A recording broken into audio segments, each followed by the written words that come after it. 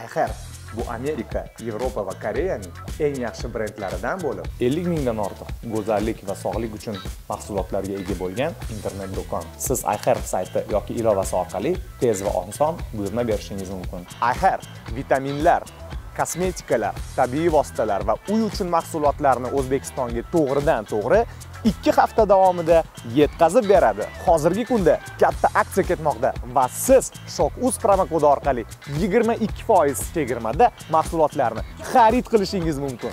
Sog'lik va go'zallik uchun sinovimizdan o'tgan mahsulotlarni hech qanday vositalarsiz. Ayher tilovasi orqali menga o'xshab buyurtma bering. Ovqat qilib berma tanlaysiz qozon qovoq o'choqdanmi yoki anaqa yevropeyskiy bo'lsinmi mana mana olinglar mana bunaqa qilib kerak emas. Endi hozir qiziq bo'lmaydi sizlarni auditoriyalarga. Endi man xohlamasam ham shunaqa gapiraman. Hech qachon hech qayerda gapirmagan gapirishni ham xohlamagan e, sirlarimni ochaman eng yosh informatsion dasturlar boshlovchisi bo'lganman. O'n olti yoshga hali to'lmagan. Judayam malakali jurnalistlar sizni tanqid qiladimi? Ilk gonorarlarimni olishni boshlaganman. Besh ming so'm yuborishardi pochtadan ikki ming so'm yuborishardi qiziq bo'lgan menga yoqqan mazasini tushunganman auditoriya ko'pligini hisobiga man yulduzman deb ikkita gapni bir biriga qo'sha olmasdan olib boruvchilik qilayotganlar ham bor. To'yga nechi puldan chiqyapsiz? Sakkiz yuz dollar judayam orzu qilganman shunaqa e, shaharni tomosha qilib nima ko'ring sizga qiziqmi shunaqa qimmat narsalar. U odamga turmushga chiqmaganim man uchun to'g'riroq bo'lishini vaqtida anglab yetganman keyin turmushga chiqishdan voz kechganman. Bir marta ha to'g'ri hayotim bo'lmagan mani ishlashga masalan umuman ehtiyojim bo'lmagan hech qachon. Nimaga shunaqa o'ynashingizdan orttirib kelgan bolangiz deb yozyaptimi? Demak o'sha odam hayotida o'ynashidan bola orttirgan farhod alimov degan boshlovchimiz borlar. Qaysi telekanalda faoliyat yuritadilar? Xo'p, nimaga eng qimmat boshlovchilar to'yiladi? Timo adam bilancha bog'liq bo'lganman-da, choyxonaga ketsalar ham orqadan bekinib mashinaga o'tirib qiziq ham urardim. turib raqsga tushyapsiz Hech kim raqsga tushmasa ham men tushaman. voy yetganingizda qiziqchilik qilish kerak bo'lsa qiziqchilikni ham qilyapsiz Zamon o'zgaryapti bo'lgani degani emas-ku. Siz bilan menga ham hamma yoqavermaydi-yu. Hammaga o'tirib kommentariy yozib o'tirmaymiz-ku, chunki vaqtimiz yo'q. Juda og'ir hazil. Farzandingizni farzandini farzandiga ham kelishi mumkin. Sizda xatolik ketsa, uchtasi har doim qiziq bo'lgan. Siyosat, sensatsiya, e, smert mana bunaqa narsalar har doim qiziq bo'lganda, uchtasi qiziq bo'lgan. assalomu alaykum hurmatli shop uz kanali muxlislari oradan ancha vaqt o'tib nimagadir ancha vaqt o'tib manimcha oxirgi intervyu olganlarimizdan oyog'i sal og'irroq bo'ldim bilmayman bugun yana bizada intervyu e, hazil yana noto'g'ri tushunmanglar boyagi gapimni? Bugun bizada yana intervyu man juda ham hurmat qiladigan insonlardan bir necha yildan beri e, do'stona munosabatlardamiz e, va qolaversa professional jurnalist sifatida man judayam hurmat qiladigan insonim uylariga tashrif buyurdik xonadonlariga kimligini esa tez soatlarda bilib olasiz звонок bosamiz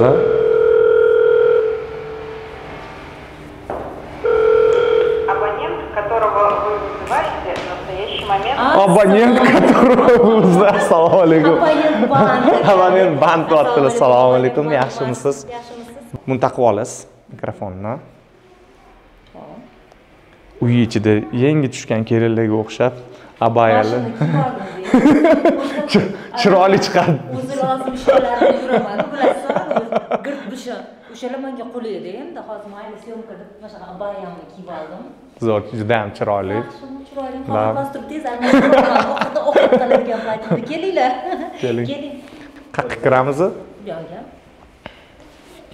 lekin syomka emas birinchi ovqatlanib olamiz o'rtoqlar ne?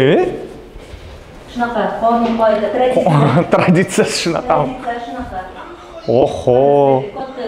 mezbonlik assalomu alaykum assalom привет? Как дела? Все хорошо у тебя да? Как ты? Как зовут тебя? М? ты разговариваешь или нет? Не разговариваешь со мной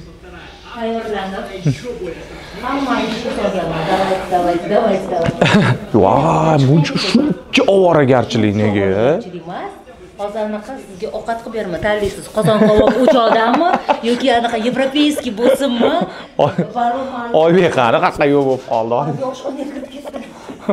oybek lekin bitta narsani aytib qo'ying hammaga yana oldin borganlarimizni to'xtang. Xafa bo'lishmasin. Mana mana bunaqa kutib olish kerak mani yangi yil bo'lyaptimi? Nima bo'lyapti? E- endi ha yangi yilga tayyorlanyapmiz repetitsiya bu.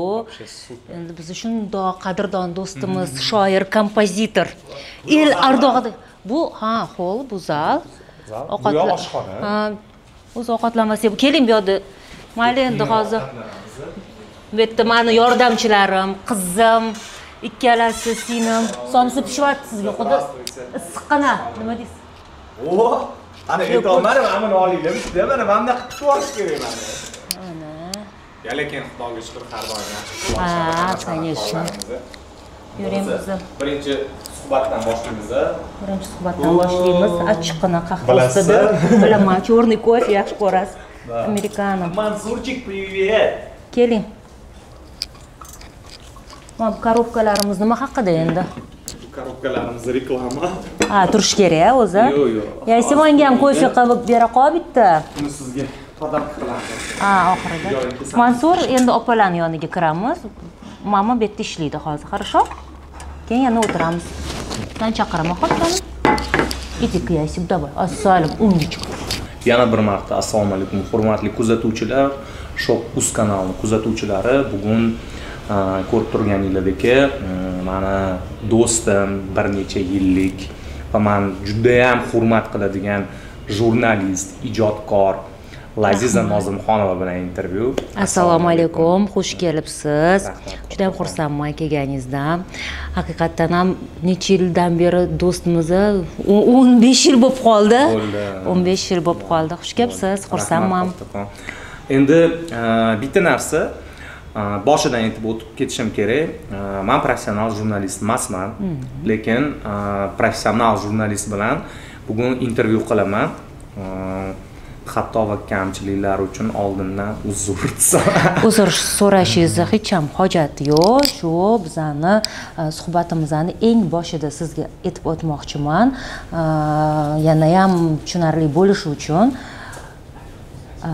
biza bilamiz paulo kaeloni al kimyogar asarini insonlar o'zini taqdirini o'zi yaratadi. Sizda xohish bo'lsa eng asosiysi har xil to'sqinlar bo'lishiga qaramasdan kritika bo'ladimi tanqid bo'ladimi judayam malakali jurnalistlar sizni tanqid qiladimi? Bu narsa sizni taqdiringizdan qochishga olib keladi. A siz unaqa qilmayapsiz. Siz protsessdasiz jarayondasiz o'zingiz ustingizda ishlayapsiz xohish bo'lsa hammasi zo'r bo'ladi. bilaman bilaman bilaman. eng keragi tabiiy samimiy suhbat bo'lsa bo'ldi. Man ham shunaqa hisoblayman. A, demak suhbatni boshlaymiz. Man sizni juda yam yaxshi bilsam ham endi juda yam emas bir necha yildan beri bilsam ham lekin man baribir tayyorgarlik ko'rdim.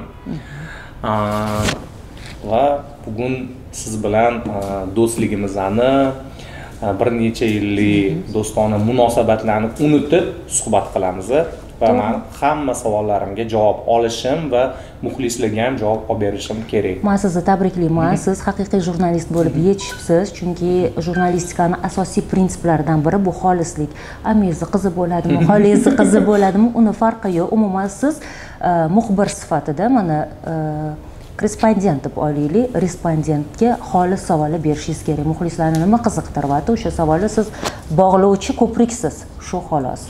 To'g'ri tushunamiz. Demak birinchi savolim. Aa, man birinchi ko'rgan laziza nozimxonova bilan hozirgi laziza nozimxonovani orasida yer bilan osmoncha farq bor. Aa, man birinchi ko'rgan laziza nozimxonova ishonuvchan sodda beg'ubor hozir ham endi man beg'ubor emas siz demoqchi emasman lekin aa, hozir ancha o'zgargansiz. Bu o'zgarishga nima sabab bo'ldi? Shou biznes yoki hayot sarbalari shou biznesga to'g'risini aytaman ishimni qanchalik yaxshi ko'rishimga qaramasdan baribir har doim oila o'zimni shaxsiy hayotim birinchi planda bo'lganmanda. E, keyin bilasizmi xarakter insonda o'zgarar ekan psixologlar o'zgarmaydi deyishadi lekin temperamentingiz o'zgarmaydi. Temperamentim o'zgarmagan mana borku. E, melanxolik pragmatik. Man pragmatikman uni o'zgartira olmayman. Bu mani temperamentim. Lekin xarakter o'zgarar E, yosh bilan ham bog'liq hayotiy tajribalaringiz bilan ham bog'liq e, keyin ko'proq e, xatolar bo'ladiyu hamma odamlarda. Xatolarni ko'rasiz muvaffaqiyatlaringizni ko'rasiz o'zingizni ustingizda ishlaysiz E, bitta anglash kelganda siz o'zgarasiz. Agar anglash kelmasa siz yana yana yana yana qaytaraverasiz xatolar. Eng esingizda qolgan va e, o'zingizni anglashingizga majbur qilgan xatoyingiz? Э, tank bor btrga o'xshab bosib ketaverardim ishda ham shu jihatni o'zgartirganman. Masalan to'g'ri biz haqqoniy bo'lishimiz kerak oq oq qorani qora deydigan prinsiplarga qaraganman. Lekin o'zbekchilik diplomatiyasida har doim ham bu qo'l kelavermasligini manga hayot ko'rsatgan. Siz to'g'ri ma'noda masalan manga savollaringizni beryapsiz manga oldindan aytdingiz man mulohazali inson bo'lganim uchun kasbimni professionali bo'lgani uchun man buni tushunyapman lekin manda shunaqa holatlar bo'lganda tushunarsiz holatlar ham yuzaga kelib qolgan ekan. Man o'shanda so'z berganman tangani u yog'iga ham bu yog'iga ham baribir qarash kerak ekan. Siz u yoki bu masalaga joningizni fido qilyapsizmi? Undan qandaydir sizga отдача kelishini ham tushunib yetib olishingiz kerak ekanda. Endi bu e, egoizmga kirmaydi. Shunchaki o'zingizni mehnatingizni qadrlashingizga kiradi deb o'ylayman. Ish faoliyatingizni televideniyada boshlagansiz adashmasam yoshlar telekanalidan yoki o'zbekistondan. Tv to'rtdan boshlaganman Ha, TV4. tv to'rt. Keyin sport kanal bo'lgan tv to'rtda o'n yosh bo'lganman unda sen haqingda va sen uchun degan ko'rsatuv bo'lardi. Bolalar ko'rsatuvi детский proyekt. Э, shu ko'rsatuvga man borganman Э, kichkina bolalarni ko'rsatuvini olib borardim. Assalomu alaykum efirda sen haqingda va sen uchun u rus tilida ham efirga uzatilardi aliya asiya degan ikkita tatarchka qizlar bo'lishardi o'zbek tilida man olib borardim keyin shunaqa qilib qolib ketganman ttv kanalga o'tgan u proyekt keyin ttv kanalda uzoq yillar faoliyat olib borganman u toshkent bo'lgan eng yosh informatsion dasturlar boshlovchisi bo'lganman o'n olti yoshga hali to'lmagandim litseyda o'ninchi sinf deng ikkinchi kurs talabasi informatsion yo'nalishda faoliyatimni boshlaganman shu savolni bermoqchi edim informatsion dasturda uzoq vaqt ijod qildingiz faoliyat yuritdingiz ya'ni davr informatsion dasturida yana qaysi informatsion dastur davr informatsion dasturi poytaxt e, ikki ming o'n beshinchi yil oxirgi marta informatsion dasturlardagi faoliyatim axborot. Birinchi kanal o'zbekiston telekanali asosiy axborot. qarang hozir informatsion dasturdan ko'ngilochar dasturlarga o'tgansiz umuman maniki emas bo'lgan adaptatsiya qilish qaysi biri sizniki emas? Ko'ngilochar maniki emas. Yo'q qiyin bo'l- bo'lmayaptimi adaptatsiya qilish? Endi o'rgandim endi o'rgandim. Judayam ko'p e, ustozimiz rahmatli jiddiylikdan hingir hingir hingir e, ustozimiz rahmatli o'zbekiston xalq artisti abdumo'min o'tbosarovni gaplarini yodga oldim. O'zimni sindirishga harakat qildim. Boshlovchi egiluvchan bo'lish kerak egiluvchan bo'lish kerak deb nimaga shuncha gapirardilar. Endi tushundim. Endi bizni shundoq yurardikda endi axborot o'qiganingizda. Bu ham e, suhbat davomida agar savol bersangiz bu yo'nalish bilan bog'liq bo'lgan hech qachon hech qayerda gapirmagan gapirishni ham xohlamagan e, sirlarimni ochaman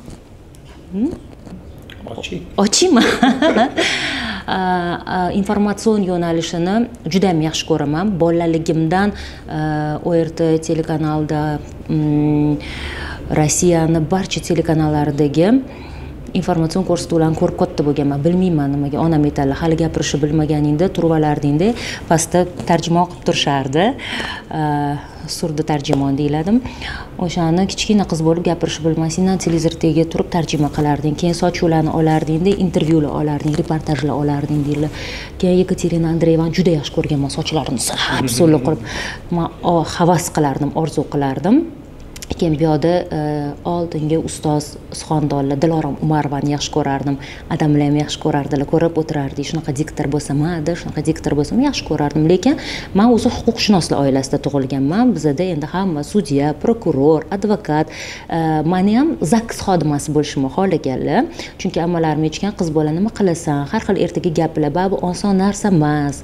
Qo'y avlodimizda bo'lmagan nima qilmasin? deganlar. Lekin adamga rahmatli ming rahmat e, shu o'n besh o'n olti yoshlarimda ham radio yigirma bir bo'lardi. Shahzod ttv plyus yulduzlar degan передачamiz bo'lardi ko'rsatuvimiz e, montajlar bo'lardi konsertlarga borardik kech tugab qolardi shunaqa gaplar onamdan gap eshitardim. Qiz bola darsingni qil uy ishlarini qil manga qarash chunki oilada ko'p farzand bo'lganmiz. Ikkita o'g'il ikkita qiz to'rtta onam uyda o'tirganlar hamma yumush man o'zi katta qizman mani qizim qanaqa bo'lsa man ham shunaqa bo'lishim kerak edi. Aslida Aslida.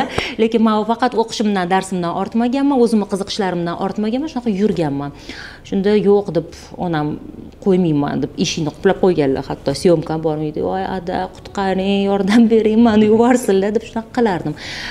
Keyin kutilmaganda ttv kanalini direktori ne'mat saidxonov o'sha payt mana hozir ertalabki dasturlar borku biz birinchi bo'lib ochganmiz sakkizdan o'n uchgacha deb nomlangan. Besh soatli efir bo'lardi. Besh soat to'ldirishingiz kerak ikki soatiga kino berardik qolgan soat sakkizdan boshlab o'n bir yarimgacha har xil sahifalar bilan to'ldirishingiz kerak edi. O'shalarni qilardik o'sha payt masalan komanda ishlamasdi. Bitta o'zingiz ham boshlovchi bo'lardingiz ham muallif bo'lardingiz rejissyor bo'lardi lekin rejissyor ham muallifi aytganini qilardi. Baribir qarab turardi ko'ziga nima qilsammikin qanaqa kadr qilsammikin deb. O'shanda qaraganmanda ilk gonorarlarimni olishni boshlaganman besh ming so'm yuborishardi pochtadan ikki ming so'm yuborishardi qiziq bo'lgan manga yoqqan mazasini tushunganman ha yoqqan chunki o'zi xarakterim ham adamga o'xshaydida. Endi katta qizlar baribir adasiga o'xshar ekan birinchi farzandlar boshqacha eh, jins vakili bo'lsa endi bildim buni ham bilmasdim. Keyin mm, yoqqanda man aytganman nimaga deganman daromad olish mumkin emas taklif bildirganman kichkina qiz bo'lib majlis majlis bo'lganda aytganman biza homiylik ko'rsatuvlari qilsak bo'ladimi? Ha topsang qil deyishgan mundoq kulishgan endi katta katta bo'rra bo'lardi. O'sha payt endi aytsam bo'lmasa kerak otini. Reklama bo'lib qolmaydimi? aytaveraymi akfaga borganman g'unchada ofislarga bo'lishardi. Qaysi e, kompaniya kuzatganman? Endi baribir strategiyachi bo'lgan ekanman. Endi bu o'zidan o'zi bu genmi bilmayman. Xullas akfa akfa hamma yoq akfa birinchi akfa bo'lgan keyin akfa bo'lgan keyin что то bo'ladi dedim yaxshi tikishyapti reklamaga pul ko'rsatuvga jalb qilish kerak. Borganman o'sha paytlar abdurahmon aka bo'lardilar. Jahongir poziljonov akalar ularga murojaat qilganman. Aynan media yo'nalish bo'yicha ular shug'ullangan. Man tushuntirganman proyekt.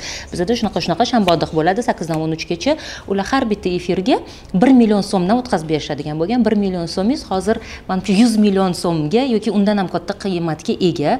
Keyin shu tushgan pullar e, homiylik bo'lgan gonorarlar zo'r keyin e, undan tashqari parallel sport va bolalar degan ko'rsatuvim bo'lardi. Unda estafetaga o'xshaydi quvnoqlar va zukkolarga o'xshaydi.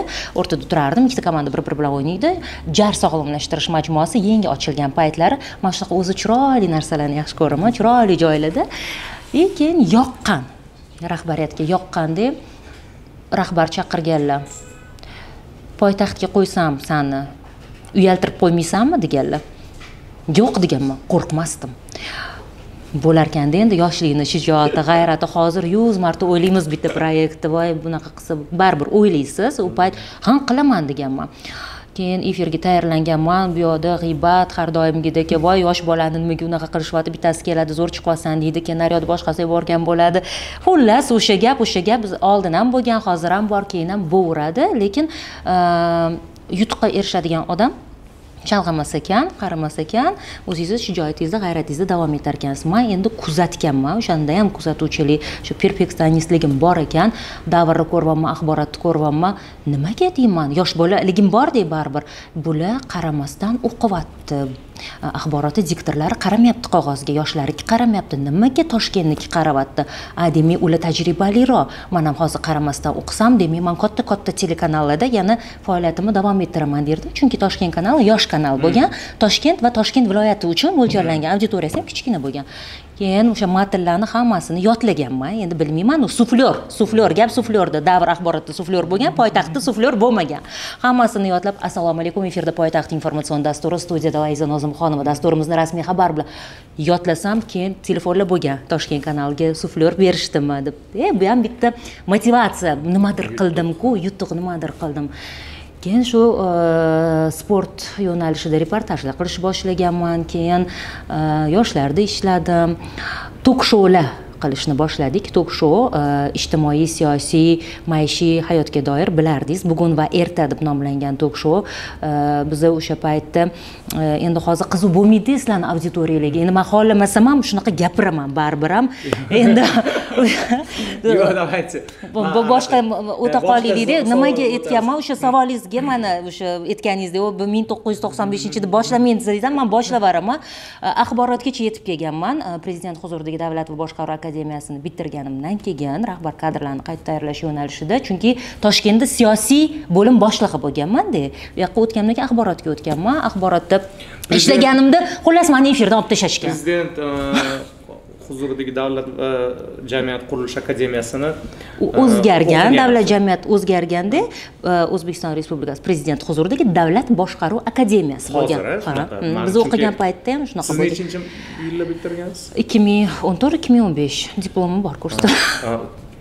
Yo'q ko'rsatasiz chunki man haydalgan deb eshitganman. Yo'q yo'q Lekin shunaqa to'ppa to'g'ri eshitgansiz? mani adamlar ikkinchi bitiruvchilar Ha, ikkinchi u, paytlar yangi ochilgan paytlar davlat va jamiyat qurilishi. akademiyasi deb nomlangan u. Haydalganmisiz akademiyadan rostdan? Akademiyani man ikkita diplom bilan bitirganman shunaqa gap so'zlar chiqqan to'g'ri eshitgan bo'lishingiz mumkin. Chunki man bitirib kelganimdan keyin mani bosh muharririmiz chaqirganlarda saylov paytlari edi e, deputatlarniki debatlarda man e, olib borishim tasdiqlanib bo'lingan. Kelganlar manga aytganlar kiring bugun efirda emassiz o'rningizga qahramon jamolov chiqadi deganlar. Olim aka edilar adashmasam yangi o'tuvdilar ular ham bosh muharrir bo'lib nodir aka edilar o'zi nodir aka birinchi kanalga direktor bo'lganlar. Keyin man aytganman bo'ldi. Deganman biz oddiy soldatmiz. Nima desangiz shu man endi o'ylayapman a man hozir e, apparatga ishga o'tsam kerak yoki bo'lmasa debatlarda bo'lsam kerak. E, shuning uchun shunaqa qaror bo'lgan deb man efirdan olib tashlashim mumkinligi haqida umuman hayolimga ozgina bir gramm bo'lsa ham shubha kelmagan. Kutganman kutganman. haydalgan degan gap so'z sizni efirdan olish uchun kerak bo'lganmi Э, bilasizmi katta dargohlarda э, katta akulalar bo'ladi baribir ham э, lekin yaxshi ustozlarni ham ko'rganman. Judayam ko'p yaxshi ustozlarimiz. Axborotda xodimlari har bitta jurnalist menga yordam bersa bergan zarari tegmagan э, faqatgina shu э, tengdoshlar tengqurlar orasida yutuqlaringiz man endi vohali yutuqqa erishib ketganmanda yoshimga nisbatan o'sha payt man yigirma besh yosh bo'lganman. Bola deganida bu magistraturani bitirgan bo'lganman. Ikkinchi qizimni tug'ishimga keyin undan keyin man davom etaverganman o'qishda. Shu endi bu kimmi bu kimmi bo'lgan shu bu kimga aytgan keyin e, unaqa opani bu kimni kimni endi mayli qo'yavering. Undan tashqari keyin e, qo'shimcha ular bitta komanda bo'lishganda uni man keyin bilganman. Oradan uzoq vaqt o'tgandan keyin ular bitta komanda bilganman. Ichida o'sha e, bizga dars bergan stajyor domla ham bo'lganlar. Chunki e, qiziqish bo'lgan manga nisbatan va man e, oilaliligimni eshitib ну baribirga ham mandagi kuch ko'rganlar yoki qandaydir gaplar. Chunki bizada baribir ajrimga yaqinroq bir holatlar bo'lib turgan bo'lgan o'sha payt. O'shanda endi tegan zarari. Zarari tegan. O'zimga o'zimni xohishim bo'lmasdan turib man ketganman efirdan tak keyingi savol. Informatsion dasturlardan e, siyosiy ko'rsatuvlardan qanaqa qilib sakrab to'yga chiqib qoldingiz? Э, to'yga sakrab tushib qolganimni sababi o'zi uzoq yil etvas mani to'yga taklif qilishsa man xafa bo'lardim. Nimaga manga manga to'y etadi? Nima uchun man man Hozir xursand bo'laman. hozir xursand bo'laman. Endi e, bilasizmi to'g'risini aytsam mm, man toshkentlik qizman. Oilamiz o'zbekcha oila. E, baribir bizada sal qattiqroq qaralganda e, o'sha paytlar e'tibor bergan bo'lsangiz mani o'n olti o'n yetti o'n sakkiz yosh paytlarimda xususiy kinolarni olishlar endi urfga kirayotgan bo'lgan rosa filmlarga bosh qahramonlarga chaqirishgan ruxsat bermaganlar adam shunaqa cheklovlar bo'lgan. Lekin man tushunganman inson o'zini hayoti uchun o'zi mas'ulligini. Mayli sizni otangiz qo'llab quvvatlasin mayli sizni turmush o'rtog'ingiz qo'llab quvvatlasin. Mani otamlarni mm, bevaqt o'limlari menga ko'p narsa o'rgatgan. Chunki judayam e, yosh olamdan o'tganlar man adasiga bog'liq qiz bo'lganman aytib o'tganimdek e, shuning uchun e, mandan masalan onam singlim ikkita ukam endi mani ammalarim amakilarim tog'alarim ular bor bo'lgan bizani oyoqqa turg'ashga yordam berishga shunaqa qilishgan ham. Lekin mani ichimdagi mas'uliyat man oilani boshiman pul topishim kerak hayotda jamiyatda o'zimni o'rnimga ega bo'lishim kerak degan bir mas'uliyat mandan hech kim so'ramasa ham o'zidan o'zi paydo bo'lganda shuning uchun oybekga qiziq bitta savol. hozir to'yga nechi puldan chiqyapsiz? sakkiz yuz dollar. Sakkiz yuz dollar. Keyin oybek Toshkentga. toshkentni ichida. Ha, viloyat yo'lda kelayotganimizda so'radi manda intervyu bo'ladi degandan keyin kuzatdim tinmasdan har kuni to'yda ekan nima qilyapti shuncha pulni dedi. Qatga bosyapti dedi. Endi bilasizmi shunaqa deb o'ylanadi e, qancha pul ko'p topsangiz shuncha ketkazadigan joyi bor. O'zi rizq baribir ollohdan e, qachon sizga nima berish kerak bo'lsa beradi qachon nima olish kerak bo'lsa oladi. Bilasizku mani xarakterimni. O'shanga e, joyi topilaveradi. Baribir keyin top- topganga yarasha agar e'tibor bergan bo'lsanglar oybekjon man ishimga e, ishimga e, judayam qattiq qarayman har bitta libosimga oyoq kiyimim tushgan bo'lishi kerak taqinchog'im tushgan bo'lishi kerak odamlar shuncha narx beryapti sizga aytgan pulingizda yaxshi ko'rishyapti. Shunga mos bo'lishi kerak. Ishdan pul ayash kerak emas. Xuddi tadbirkorlar qanaqa оборотda pul aylantiradi? Man o'sha pullarimni aylantiraman. Ishimda aylantiraman. Yana ham rivojlanishi uchun. anaqalari sal teparoq Mhm. aylantiraman to'g'risini aytsam. Uyimdagi boshqa chiqimlarim soat strelkasi bo'yicha aylanadi. Xudoga shukur umrlar uzoq bo'lsin. Turmush o'rtog'im ularni hammasini qoyillatib joyiga qo'yib qo'yganlar. O'shaning uchun sifatli ta'lim berishga ham ishlataman bolalarimga endi o'zimni anaqalarim bor e, lekin mana shartnomasi bo'ladimi o'quv bo'ladimi asosiy qismi adasida lekin e, masalan aytaylik yasmina ona deydi topib keladi bitta kurs. U kursi qimmat narx bo'lishi mumkin. Endi e, oilada qachon rivojlanish bo'ladi deb o'ylayman. To'g'ri ayol kishi erini xasmi uni chizgan chizig'idan chiqish kerak emas. Man ham xuddi shunaqa qilganman. E, paytida kerak bo'lsa turmush o'rtog'im ishlamaysan degan bo'lsalar bilasan manda to'rt yil besh yil orada tanaffus bo'ldi. Har doim oila birinchi o'rinda. Lekin baribir ishimni kasbimni yaxshi ko'raman. Ishim bilan man tirik odammanda boshqacha energiya olaman. Mana masalan tosh. Tosh energiyasi bormi? Bormi tosh energiyasi. Turadiyu просто Otsangiz- hamma narsani energiyasi otsangiz energiyasi bor. Man ham tursam toshman qimirlasam energiyam borda o'shaning uchun e, ko'ndirganman baribir bolalarimga sifatli ta'limga qancha qimmat bo'lsa ham ayamayman bu vazifamiz. Endi qolgani o'zidan olib ketish qarang to'ylarga chiqqaningizda a, yoningizda masalan yoki professional yoki hozircha endi a, hozirgi kunda ko'plab noprofessional nima deydi juftlik deydimi uni? Mhm. tandemdagi para tandem pari turishi mumkin qiyin emasmi boshlovchi emas lekin hozirgi kunda boshlovchilik aynan to'ylarda qilayotgan boshlovchilar bilan ishlash sizga yo'q menga qiyin emas bilasizmi to'g'ri siz yuqorida keltirib o'tgan jihatlarga ega bo'lgan partnyorlar ham to'g'ri keladi. Nimaga deb o'ylayman? Endi baribir e, bu yerda narx masalasi ham bor gonorar masalasi ham bor. Ikkita tosh bosadigan bir xilda qimmatli qilishi mumkin. Ko'proq kimni yoqayotganini tanlaydida yoniga ozgina bo'shroq bo'lsa ham ikkita pari chiroyli turadi deb tanlashi mumkin. Lekin e, har doim hamma birinchi nimadandir boshlaydi. Biza ham o'tganmiz. Uning uchun bag'ridan itarishga haqqimiz yo'q. Man kasbingizni noprofessionallardan qizg'anmaysizmi?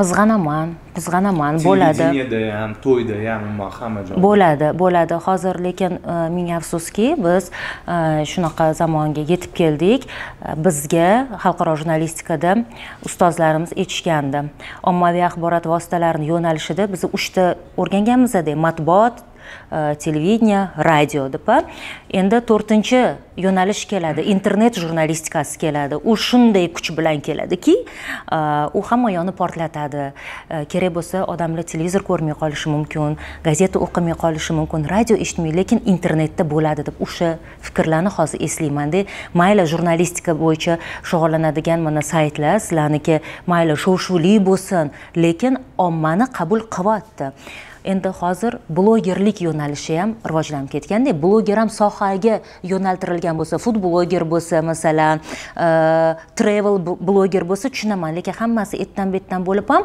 e, auditoriya ko'pligini hisobiga man yulduzman deb ikkita gapni bir biriga qo'sha olmasdan olib boruvchilik qilayotganlar ham bor. Bu ularni aybi emas. Bu ularni aybi emas. Sohada bugungi kunda mana telekanallarga ham chaqirishadi. Piar uchun uni e, mashhurligi uchun. ularni aybi emas. E, oldin kasting degan narsalar bo'lardi. Oldin tanlovdan o'tish degan narsalar bo'lar. Mayli kelsin yoshlar man har doim zaman deydiku. Man qo'llab quvvatlayman lekin o'zida xohishi bo'lsa man e, manda buncha подписчик manda bunaqa emasda lekin mana man keldimmi? Man ham bor shunaqa yoshlarimiz. Man sizga misol keltirishim mumkin. Ruxsora degan qizimiz bor. Ham qo'shiq kuylaydilar ham bloklarni chiroyli boshlovchilikka chaqirdik shunaqa mm, nima deydi? Ruslara yaxshi boshlovchilik qiladi ishtiyoqi baland o'rganadi. Shogirdim o'zim o'rganadi bilmagan narsalarini so'raydi. Borda shunaqa boshlovchilar. Mana jamshid bobojanov chiqdi. Ovqatlar pishiradilar olib boryaptilar lekin intilish borda yoshlarda. Jamshid umurzoqovni qanchadan qancha shogirdlari bor? Qiziqishyapti. Lekin shu bilan birga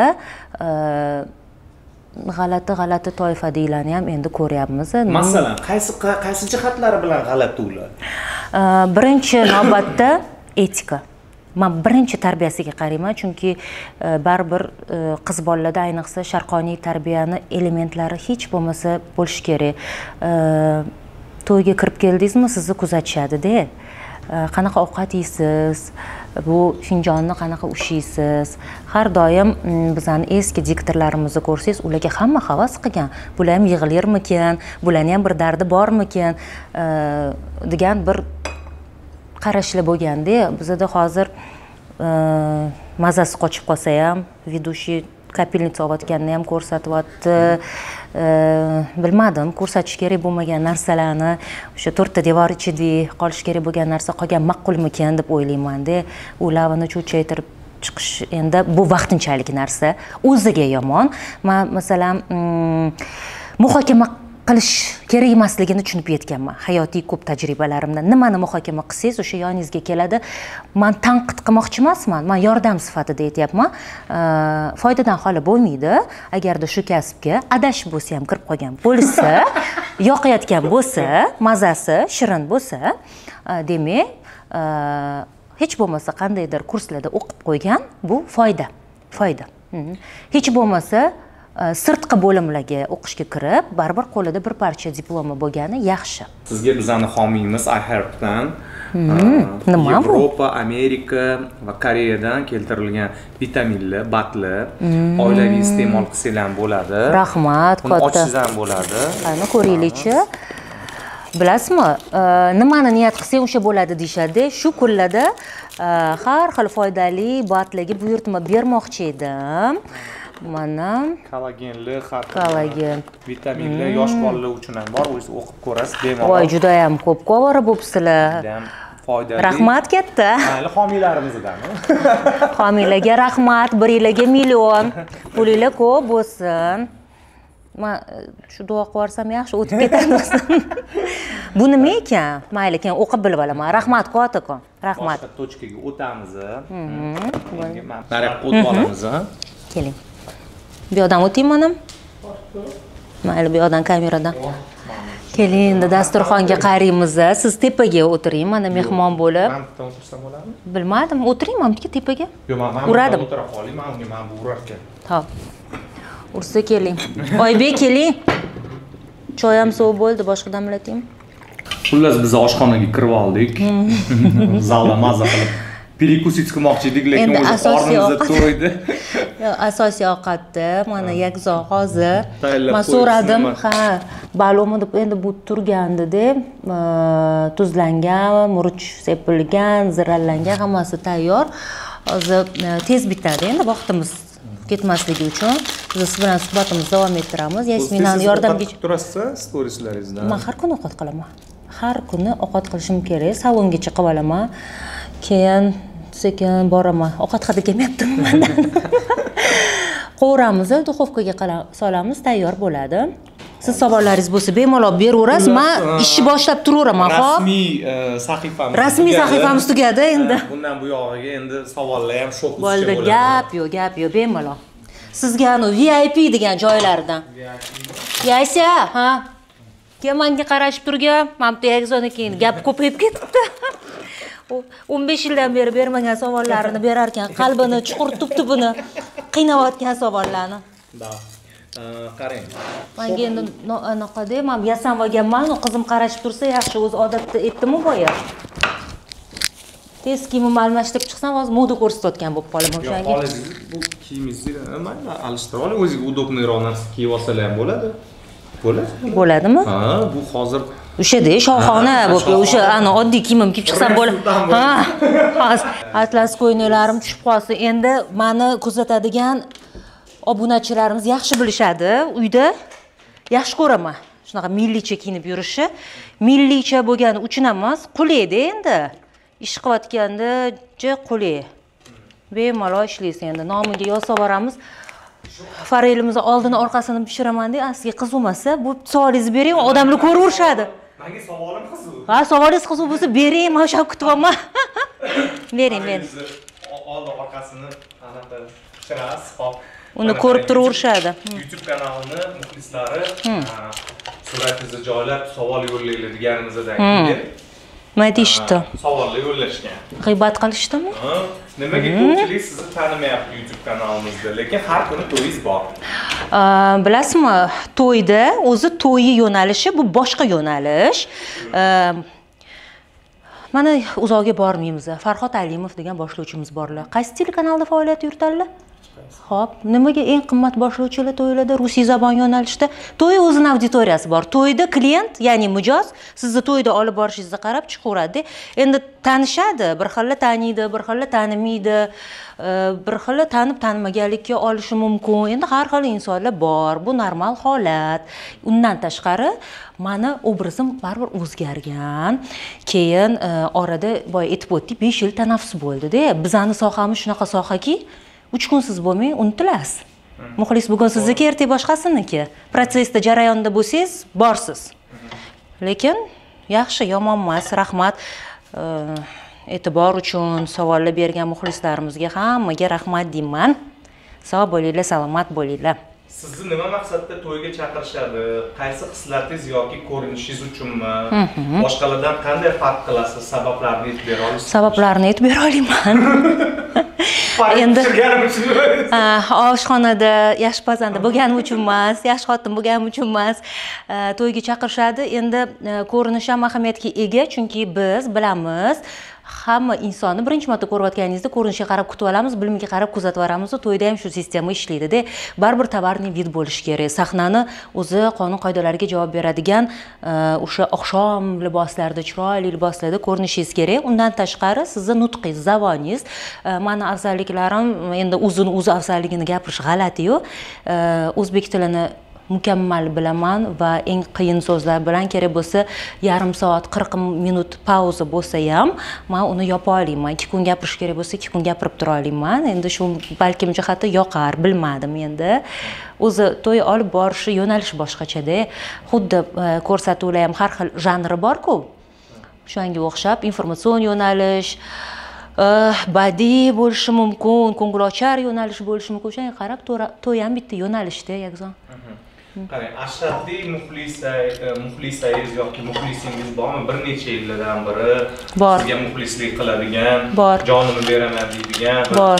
nima uchun muxlislik qiladi ular ular eh, mani ishimdan ham ko'proq hayot tarzim yashashim qanaqa uyda qizlarim bilan munosabatim mani qizim bo'lishni xohlab qolgan qizlar borda yosh yosh qizlar. Uzoq yillardan beri bitta shahzoda degan singlimiz bor. Man hatto bola parvarishi uchun dekretga ketganimda ham uylarimni topib kelib o'zi hech aloqaga chiqmasdim. Bir kuni tug'ilgan kunim bo'lganda turmush o'rtog'im ko'rib qolibdilarda pastda sharlar bilan tortlar bilan voy adasi olib chiqdilar sudrab mana sani oldingga kelishibdi. Nima unaqa qilasiz man qochib yuraman man unaqa qilaman desam yo'q unaqa dedi sani yaxshi ko'ryapti ko'rish gaplash. Shu unaqalar ko'p endi singillar havas qiladigan yaxshi qizlarimiz ko'p. Hozirgi tez tez kunda- bering temp bilan ishlaylik temp blitz intervyu qilaylik. Hozirgi kunda qaysi telekanalda ishlaysiz va oyligingiz telekanalda hozirgi kunda zo'r tv kanalida ishlayman. Eng ko'p gonorar to'lanadigan boshlovchilardan bittasi hisoblanaman. Shunaqa prodyuserimiz aytaymi Keyin uch million bitta efirga. Har bitta ha. Zo'r? Zo'r? Qarang umuman man bilgan laziz emasda masalan hozirgi ko'ngilochar ko'rsatuvlar degan to'g'ri. Voy hozir erta laziza Borib, erta- raqqosa qiziqchi. Qiziqchiga вообще yo'q ha mayli. O'zi yumor tushunmasdim qarang. sizga qiyin emasmi? Manga qiyin bo'ldi. Masalan qarangda mana man bilaman shundoq to'yga bordingiz to'ydan chiqdingiz rasmiy hamma narsa to'yda. Assalomu alaykum hurmatli mehmonlar bugungi kun Yo'q, yo'q, to'yda rasmiy emas. qirolichasini Oldi rasmiy. O'rnimizdan turgan holati bor. Endi rasmiy deganda ha. qanaqa? Jiddiyroqda masalan televideniyadagi ko'ngilochardan ko'ra demoqchiman. O'sha oldingi yo'nalish. to'ydan chiqib borib televideniyada ham raqsga tushishingiz kerak ham uh, u ham mayli. u ham u ham u ham yasmina aka qizim qarashur u ham mayli bilasizmi eng qiyini nima? Aslida eh, mana aytaylik to'yga bordim to'yni tugatdim efirga bordim efirni tugatdim keldim. Adasi ada вообще boshqa rol. Umuman boshqa rol. Lozim ishdan keladi adasi kech keladilar endi e, voy man ishdan charchadim deyolmayman sanga kim aytyapti ishlagin degan javob eshitaman shuning uchun e, u ishlarimga bu ishni aralashtirmasdan charchasam ham bo'ladi. Kam uxlab qolaman bir xillada. Oldin ishim bo'lmaganda uyda bo'lganimda bemalol ertalabgacha kino ham ko'rib e, bolalarni maktab bog'chasiga kuzatib borib yana dam olardik-da. endi hozir ish ko'p iloji yo'q. To'g'ri nima bo'ladi? Yoqimli charchoq bo'ladi. Lekin menga yoqadi. Uyni nechi pulga oldingiz kim olib berdi? Uyi nechi pulligini bilmayman endi adasi olganlar sizga aytishim mumkin faqat e, nechi kvadratligini o'zingiz hisoblab olasiz lokatsiyaga qarab ovoz chiqarib aytingiz manga yoqmaydida narxlarni gapirish. Mana har xil saytlar borku. E, u yoqqa bu yoqqa ochilishlarga borsak kelishadi. Mana bu sumkangizni nechi pulga oldingiz bu nechi pulga oldingiz desa man e, uyalaman bo'lgan man yozilgan savollar manga bilasiz manga bunaqa narsalar bilaman bilaman yozil. Sal skromniyroq bo'linglar narxlarni gapirmanglar deydilarda adasi ham xohlasanglar shu qo'yib yuboraversanglar ham bo'laveradi manga o'zinglar deb gapirmayapman. Manga bezmontaj qo'ysanglar ham bo'ladi. Siz, e, milliy telekanalda rahbar lavozimida ishlaganman man buni xabarim bor. E, lekin man bu haqida hech qachon sizga gapirmagan bo'lsam ham buni o'zingiz ham eshitgansiz. Orada shunaqa gap so'zlar tarqaldiki e, o'sha rahbar lavozimidan yaxshi munosabatda xayrlashmagansiz ular bilan ya'ni erta qanaqadir urush janjallarmi nimadirlar bo'lgan va bundan keyin bir necha yil siz e, zapretda ya'ni taqiqda bo'lgansiz degan gap so'zlar tarqaluvdi agar o'zingiz ham eshitgan bo'lsangiz. Yo'q lekin unaqa narsa bo'lmagan bo'lmagan gap. E, chunki e, o'sha payt ham to'yga chiqardim. E, kanalda ish e, judayam talab katta bo'lgan. E, u yoki bu proyekt qilinsa har doim yirik loyihalarni ustida ishlaganmiz E, man endi tortishuvlar bo'ladi endi jamoa orasida e, mandan oldin bo'lgan bosh muharririmiz borlar bizani ustozimiz endi ishda bo'ladi.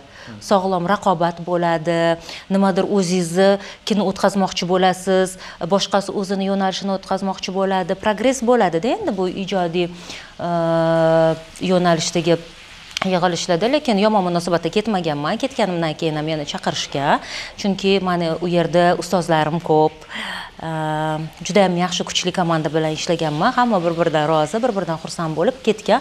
Man ketganimni yana bitta asosiy sabablari e, o'qishimni davom ettirmoqchi bo'lganman. Ya'ni e, doktorlik ishini davom ettirish uchun ketganman boshladim lekin hali ham uni oxiriga yetkazganim yo'q. Endi ancha vaqt oladi. Shuning uchun e, to'ylarimga borolmasligimga to'g'ri kelib qolgan. Hadeb uyalganman masalan majlis bo'ladi. Zudlik bilan yig'ilishingiz kerak. Bu yoqda endi odamlarni ishontirgansiz baribirga ham. Yaxshi kunda bo'lishingiz kerak. Necha marta отмен qilishlarga to'g'ri kelib qolgan. Shunaqa sabablari tak uch marta turmush e, qurganingiz rostmi? Hozirgi turmush o'rtog'ingiz kim? Yoshi katta kishi deyisharkan. Mm, yo'q uch marta turmush qurganim yolg'on. Endi mani biladiganlar yaxshi biladi.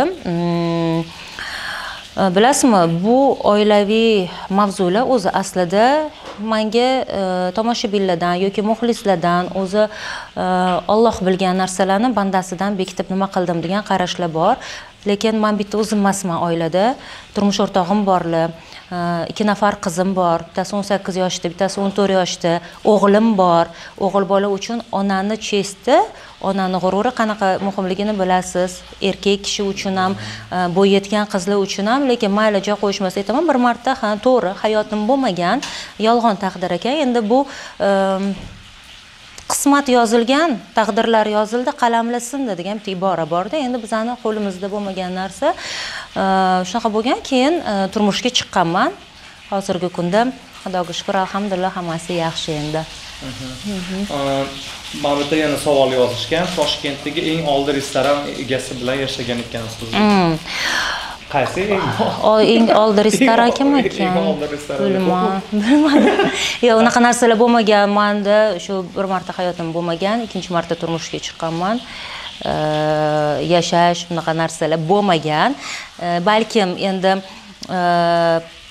ko'p sovchilar chiqadi baribir. Agar siz yolg'iz ayol bo'lsangiz ehm, manimcha bu o'zbek emas chet el fuqarosiga taalluqli gap bo'lsa kerak deb o'ylayapman hozirgi bu nimalardan ehm, bizani sheriklarimiz bo'lgan o'zbekiston madaniyat kunlarini o'tkazganimizda katta konsertda ehm, bir odam judayam iltifot ko'rsatib eh, shu uylanish darajasigacha keladigan takliflar bo'lgan.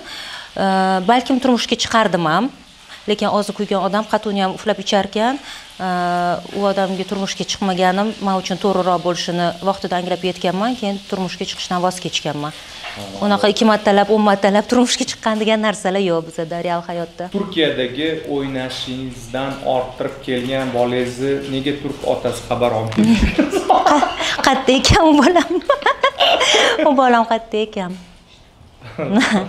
hammasi o'zbekku ha ha hammasi o'zbek sizni bir necha yildan beri bilganim uchun ha hamma narsani bilganim uchun. Manga kulgiliroq ha mayli endi odamlar har xilda endi nima uchun o'zligi bunaqa gap so'zlar o'zi tarqaydi? Kim tarqatadi? Nima deb o'ylaysiz?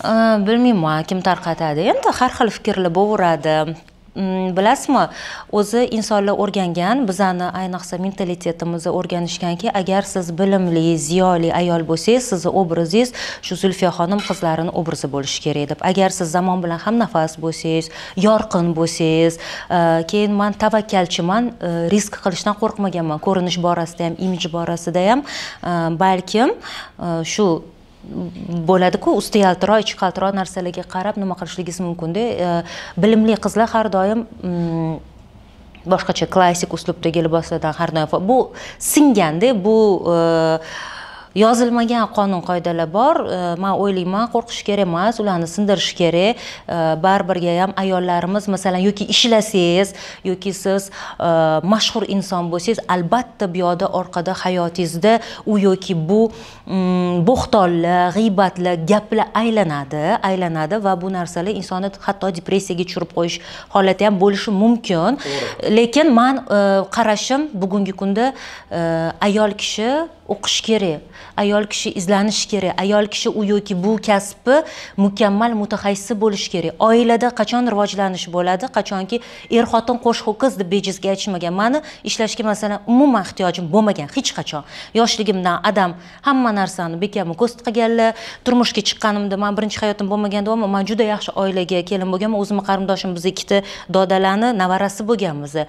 Shu o'zimizni bilamiz ehm, o'zimiz kelishganmiz shu to'g'ri yo'lligini bilganmizda nima deydi mm, hayotimda baribir yaxshi insonlar bo'lgan har doim ustozlarim e, hamkasblarim kerak ayol kishi uchun. Ayol kishi cheklanishi kerak emas. Qachonki ayol kishi erkin o'zini fikrini ifoda etdimi e, baribir borda endi g'iybat bo'ladi u bo'ladi bu bo'ladi. Bu normal holat xafa ham bo'lish kerak emas. Hammada har xil har kim o'zini qarichi bilan o'lchaydi. Nimaga shunaqa o'ynashingizdan orttirib kelgan bolangiz deb yozyaptimi? Demak o'sha odam hayotida o'ynashidan bola orttirgan o'zi. O'zini dunyosidan kelib chiqib yozadi. Hech qachon ziyoli mulohazali inson e, birovni rasmini tagiga kirib bunaqa yozmaydi. Agar masalan savol bermoqchi bo'lsa aytishi mumkin. Laysaxon e, birinchi turmushingiz bo'lmaganmi? Endi bu e, nima deydi? Ollohni bergan taqdirida biz hech nimani o'zgartira olmaymiz bu hayotda. Hamma boshi bizga bergan narsani yashab o'tamiz. Keyin man e, bilasizmi nimaga deb o'ylayman. Bunaqa gap so'zlar man har doim ochiq bo'lganman. Hamkasblarim bilan do'stlarim bilan hayotimda bo'lgan u yoki bu o'zgarishlarni man ulashganman. Э, mana hozir biz bermaganmi sizga? Э, pand berishga bergandir balkim lekin hech nima qilmaydi. Odam rivojlanadi xatolarini ustida ishlaydi. Qachon qanaqa o'zingiz tutish kerakligini o'rganasiz. Yosh qizlik paytingizda boshqacha bo'lasiz to'g'rimi? O'n sakkiz yosh talaba paytingizda keyin e, ona maqomiga erishganingizda boshqacha bo'lasiz bitta uyga kelini bo'lganingizda boshqacha bo'lasiz. Katta katta bolalaringiz katta bo'lganda boshqacha bo'lasiz. Mulohazali bo'lishni boshlaysizda. Hozirgi o'zgarasiz. savolimga man e, to'g'ri javob berishingizni xohlagan bo'lardim. Mani savolim. Siz ham man ham juda ham yaxshi bilamiz raqobatsiz e, inson oldinga yurolmaydi. To'g'ri. Da bu endi raqobat degani bu orqasidan nimadirlar qilib bir narsa emas sog'lom raqobat. Kim sizni raqobatchingiz sizni sohangizda? Hamma. Hamma. Hamma yoki hech kim Э, o'zini hurmat qilgan boshlovchi o'zini tajribali deb bilgan boshlovchi har doim o'zini ustida tinmay izlanadi ishlaydi. Shu qatori man ham. Eng zo'rlar bilan raqobatlashasiz. Bu sog'lom raqobat. Ana o'shanda sohada rivojlanish bo'ladi. Hamma bir xil masalan bugun man sochimni shunaqa yig'dim. Ertaga hamma shunaqa bir xillik kimdir yorib chiqish kerak kimdir nimadir o'zgartirish kerak deb bo'ladi. Shunaqa sog'lom raqobat bo'lishi kerak ham deb o'ylayman.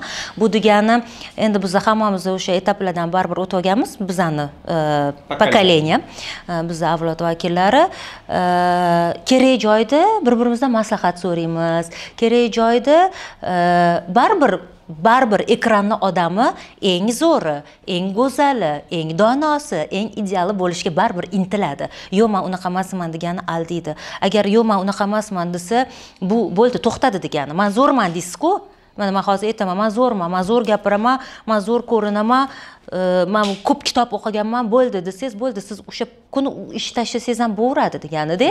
Sotib oldiyevani nega yomon ko'radi degan savol. Nilufar sotboldiyevani man eng yaxshi ko'rganim mana ko'rdingizmi? Nilufar sotboldiyeva man eng yaxshi ko'rganim. Э, nilufar sotboldiyeva bilan ayniqsa oxirgi yillarda yaqindan man tanishib boshlaganman. Nilufarni e, nimaga bunaqa deyishadi bilmayman manga ham edi nimaga sizlar bir xil to'ylarda olib borasizlar buni sababi nima keyin o'zlari ham aytdilar e, bir kuni o'sha salonda gapirishibdi voy bu laziza bilan nilufari bir biridan o'taman deydi deb shunaqa bizda hech qachon nilufari yo'nalishlari boshqacha mani yo'nalishim boshqacha. Shunda ham e, mana to'y egasi agar bizani bitta tadbirga chaqirgan bo'lsa demak u odamni e, vkusi bor didi bor bilimi bor. E, bu yo'nalishda ham zo'rini xohlayapti bu yo'nalishda ham zo'rini xohlayapti go'zalini xohlayapti. Bilimlisini xohlayapti. Nilufar man hurmat qilgan e, imij borasida ham hech kimnikiga o'xshamagan e, o'zini diksiyasi borasida ham keyin endi endi endi yaqinda taniganimda gapirayotganga o'xshaysiz. A yo'q rostda man endi berilib ketamanda manimcha mm, aldama meni degan ko'rsatuvda chiqqanlarida nilufar nimadir so'rashgan nimadir deganlarda o'shandan keyin shunaqa deb o'ylab qolishgan bo'lishi mumkin. Nafaqat nilufar bilan halim opam bilan shunaqa yozishadi halima halima opa bilan nimaga dushmansizlar nimaga a biz o'zi hayotda judayam yaxshi opa singil do'stmiz halim opa sizni yomon ko'radilar Yomon ko'rmanglar. bitta efirda chiqishmasin nega bunaqa degan. Ha yo'q endi yomon ko'rmanglar deb e, ishonch bilan uvering bo'lib ham nima noto'g'ri. Balkim bilmayman. Lekin Ha, ko'p yerga uradi halima xon endi u bilasizmi bu stilistika choyga chiqing dasturidan qolgan choyga chiqing dasturida biza qaynona kelin obraziga o'tib olganmizda endi baribir tomoshabinni e'tiborini tortishingiz kerak homiylar baribir jalb qilinadi shunaqa dastur o'zi o'shanda ush berib qo'yardilar. E, mana bunaqa qilma mana bunaqa qil deydilar. Ssenariy bo'lsa ham lekin e'tibor bersangiz o'sha yerda to'g'ri gapirayotgan bo'ladilar bilganlari bilgan joylari ko'pda. Bu narsani nima tan olish kerak? Oyga ellik yetti ming marta qaradi. Uyingizda obzor qilib ko'rsatsa bo'ladimi bo'ldi yuring. Boyadan beri. o'zi ko'rsatsa bo'ladimi? Bo'ladi yuring ham bu yangi shokus kanalida ya'ni mamantizda nima bor? Mamantizda ha ha ha bo'ldi. Mana mana buni ko'rsatib yuboramizmi? Mana yasminni baraka topib shu balularni qo'ydingizmi qovurib yubordi. Buni duxovkaga qo'yib yuboramizda lekin bu o'n minutda pishadi. Ko'rib chiqib keyin qo'ysak ham bo'ladi bo'ldi yuring ho'p. Sekinroq yuring ha sekinroq ha man qarang shoshishim ham. Tak bu yoq hol dedingiz bu hol bu sizni ustingizdagi bu ustingizdagi tepaga chiqib kelganingizdagi mayli olib qo'yamiz mayli. Bu holimiz oshxonani ko'rdingiz. Bu yoq bu yoq yo'q e, skladda endi omborxona. Narsalarni qo'yamiz. Bu yerda mehmonlar uchun sanusi birinchi qavatda. Ochib ko'raversangiz bo'ladi. Bu endi farzona kirsak bo'ladi. Bu kichkina qizimni xonasi bersalar- farzona maylimi? Mayli kel mana bu yoqda pari yasanadilar oy pari. Dars qiladilar bu kravatlari qiz bolani xonasi. Mana garderoblari. Yonida qo'shnilari. Yasminaxon poshsha qizimiz yasminaxon endi yasminaxon adasini erkasi bo'lganga bularda bonuslari bor. Hazillashyapman o'zi nima? Bu shunaqa joylashgan xonada bu yerda balkoni bor. Yasminani ular ham bu yerda dars qiladilar bu yerda mana shunaqa toza havodan nafas oladilar shaharni ko'rib. Shaharni ko'rib. Endi qizlarimizni birinchi qavatga mana qarang mandan sumkalari ko'p buni ochkisi va hammasini moslashtiradi. faqat keling. Mana ular joy joyiga qo'yadi. Manga o'rgatadi alishtirib ham olib ketaverasizlarmi ha mandan kecha sumka so'radi. Ona elvizni berib turing nima qilasan dedim. Просто dedi mayli просто bo'lsa просто dedim. Endi bu bu qizlarni sanuzili shart emasda bet hol bo'ldi tepaga chiqsa ham bo'ladi gullar maniki ikkinchi etajda man e, gullarni yaxshi ko'raman. Gullarni o'zim parvarish qilaman. Qiyin lekin qiyin qiyin. Mana shu gulimiz mana ayol baxti deb nomlanganda endi bu charchab kelsam so'lib qoladi. Xursand bo'lib uyg'onsam ochilib ketadi bu gullar anaqa burat burat buratdan ichiga degani bor. Nima edi strichetella o'shanga o'xshaydi nomi strichetella voy bu muncha qiyin dedim. Boylarni xonasini ko'rsatdim. O'g'limnikini ko'rsataman o'g'lingizni xonasi Ha, ikkinchi etajda bo'lgan endi bunda. Chunki qizlar bilasiz mehmon uyda baribir bola o'g'illar qoladi. Shuning uchun buniki tepada kattaroq xonasi bu yerda o'yinchoqlari turadi mana bu. Ana nimani ko'rsatish mumkin emas a yo'q mumkin bemalol. Mumkin. Ha. rasmku? Ha bu oy sheppa shkoflarini ko'rsatmoqchi edim nima balo bo'ldi bu? Tushunmadim. Nimadir qisildimi yo'q qisildi mana sheppa shkoflari bu yoqda o'yinchoqlari bayroq nima qo'yib qo'ygansiz deyishingiz mumkin. Ha bularni ham balkon tarbiyalash uchunmi ha. Kecha shuni qarorim qanchalik to'g'riligini bildim. Pozner jurnalisti bilasiz. Juda yam mashhur jurnalist. Eh, nafaqat jurnalist publitsist e, tadbirkor ham. Ular e, hujjatli film suratga olibdilarda kecha bexosdan ko'rib qoldim. Osmanskiy imperiya ya'ni osmoniylar imperiyasi bo'yicha istanbulda olganlar e, topdilar. Bir shahzodani u sulton sulaymonni mehmet bolasini bolasini bolasi bor ekan. Oliy hazratlari deb murojaat qilishlarini so'radilar. Endi o'sha payt revolyutsiyalar bo'lib ketganda ketilgan u endi. Ular ham ketishgan bo'lgan ekan endi kelishgan. O'shanda shunaqa turk tilida gap umuman yashamaganlar turk tilida zo'r gapiryaptilar keyin e, bir minut ham turkligimni unutmadim deb gapirganlarda nimaga? Chunki mani xonamda har doim bayroq bo'lgan ota onam o'zimizni milliy tilda gaplashgan. Bilmadim man e, juda yam xohlagan bo'lardim. Endi bilmayman sizlarni formatinglarga to'g'ri kelmasa ham e, bu ham endi o'g'limni endi o'zini sanuzili mani shu kichkina payt rasmlari adasi bilan qizlar opalari bilan svetni o'chirib qo'yilib как раз bitta zo'r savol bor elektrolimit svet elektrosvet limiti qachon tugaydi? Savol sizga Э, manga Yarim to'g'ri qilishibdi. yarim stavka ishlamayman lekin e, xabarim bor e, zo'r tv kanalida.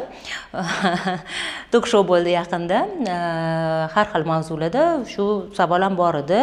Bu dastur davomida zo'r narsalar o'rgandim. Mana telefonni zaryadkaga tiqib qo'yganingizda olgan bo'lsangiz ham tokda turaveradiyu shu ko'rsatuvdan keyin hammasini olib chiqadigan bo'ldimda tok ketarkan keyin limit mani bitta o'rtog'im bor kanadada yashaydi. Oldin shu gapni aytgandida bizada deydi shunaqa zo'r ishlaydi wi fi zo'r svetli yoruv nimaga desam bizada limit tarif bo'yicha mana pulini to'laysiz sifatli elektr ta'minoti bilan siz ta'minlashadi bu zo'r narsa chungosi faqat rivojlanish beradida bizga mana endi bu mani garderobim.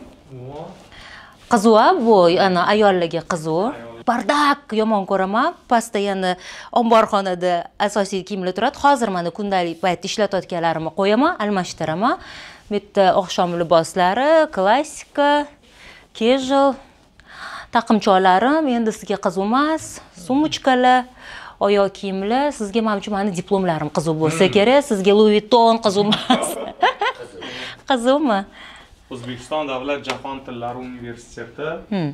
Bakalavr diplomi olasizmi xalqaro jurnalistika fakulteti xalqaro jurnalistika yili nechi ekan ikki ming yetti bakalavr ikki ming yetti tugatgan ekanman qarang mandan Ikki ming magistr sizdan so'ramasdan ushlab qo'ydim. Bemalol, bemalol. ikki ming to'qqizinchi yil davlat jahon tillari universiteti magistratura magistraturani tugatgan ekanlar Hmm. Bu akademik litsey sharqshunoslik bu mana siz haydaldi deb o'ylagan diplomim birinchisi mana o'zbekiston respublikasi prezidenti huzuridagi davlat boshqaruvi akademiyasi diplom. Ha, davlat boshqaruvi bo'yicha aylanmaganlar nima ikkita yo'nalish bo'lganda yerda jamiyat boshqaruvi davlat boshqaruvi. Davlat boshqaruvi fakulteti. Mana bu singapurskiyniki singapur o'zida o'qiganman malaka oshirganman. Ha o'zbekistondagi singapur emasda singapur o'zidagi singapur. O'sha marina bay bor. O'sha. Это malaka oshirganmiz bu ham akademiyadan o'qishga borganmiz kursdoshlarimiz bilan. Mana sizga hozir rasmlarini ko'rsataman bitiruv rasmlarimiz bor bu yerda. Hammaligisi yaxshi yaxshi insonlar bilan o'qiganman mana bizani akademiyamiz bular rektorimiz bo'lganlar mana mani kursdoshlarim mana man bilan o'sha payt e, shahnoza usmonova ham o'qiganlar. Aha.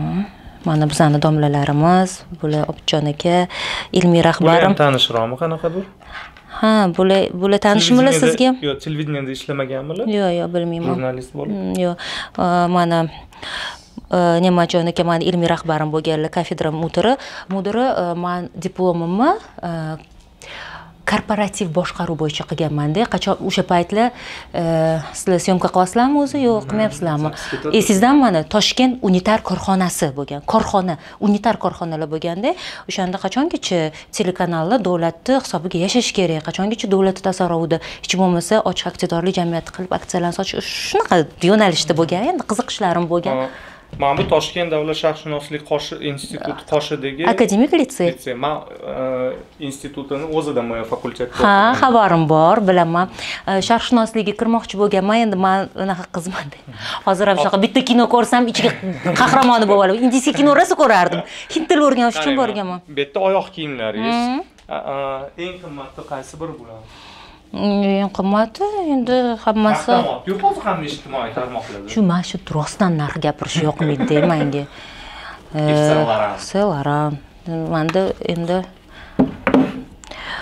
rost ekansan nima luiton krossovkam nima endi qiziq narxini saytdan ko'rib olasizlar dolce krossovkam lora pianolarim twinset bu ham zo'r firma valensiyaga gucci etagim endi lekin boya man bitta narsa mana mana buni ko'ring sizga qiziqmi shunaqa qimmat narsalar yo'q bular nechi pul bu qimmat Bitta shu pasport masportlari endi shunaqa bilmayman man endi man o'zi to'g'risini aytsam unaqa narsalar olmayman xo'jayinim chetga chiqqanlarida o'zlari nima olib kelsalar ko'tarib kelaveradi rosa o'zingiz ham aytib o'tdingiz bu haqida va e, va mana bu kelajak ovozlarini olganlarimni ko'rmaysizmi? Kamolat yulduzlari.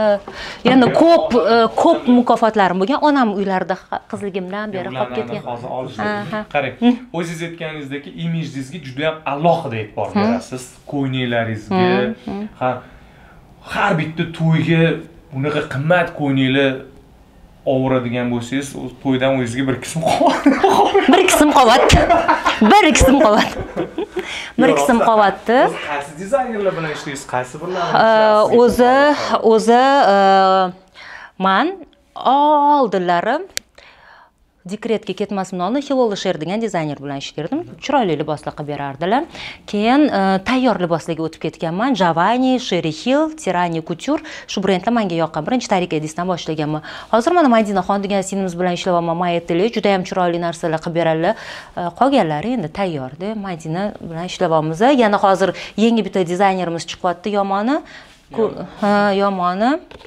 mana sumkalar ko'rsanglar endi ko'rdinglar-yu to'g'rimi? Qizlar ko'radi. Ha bo'ldi qiz emas. Ha keling. Ha hozir. Tepani ko'rsatasiz. Bu- yerda e, adasini garderoblari ularga tegishli territoriya. U yoqqa biz kirsak yoqoladi Ha, ha.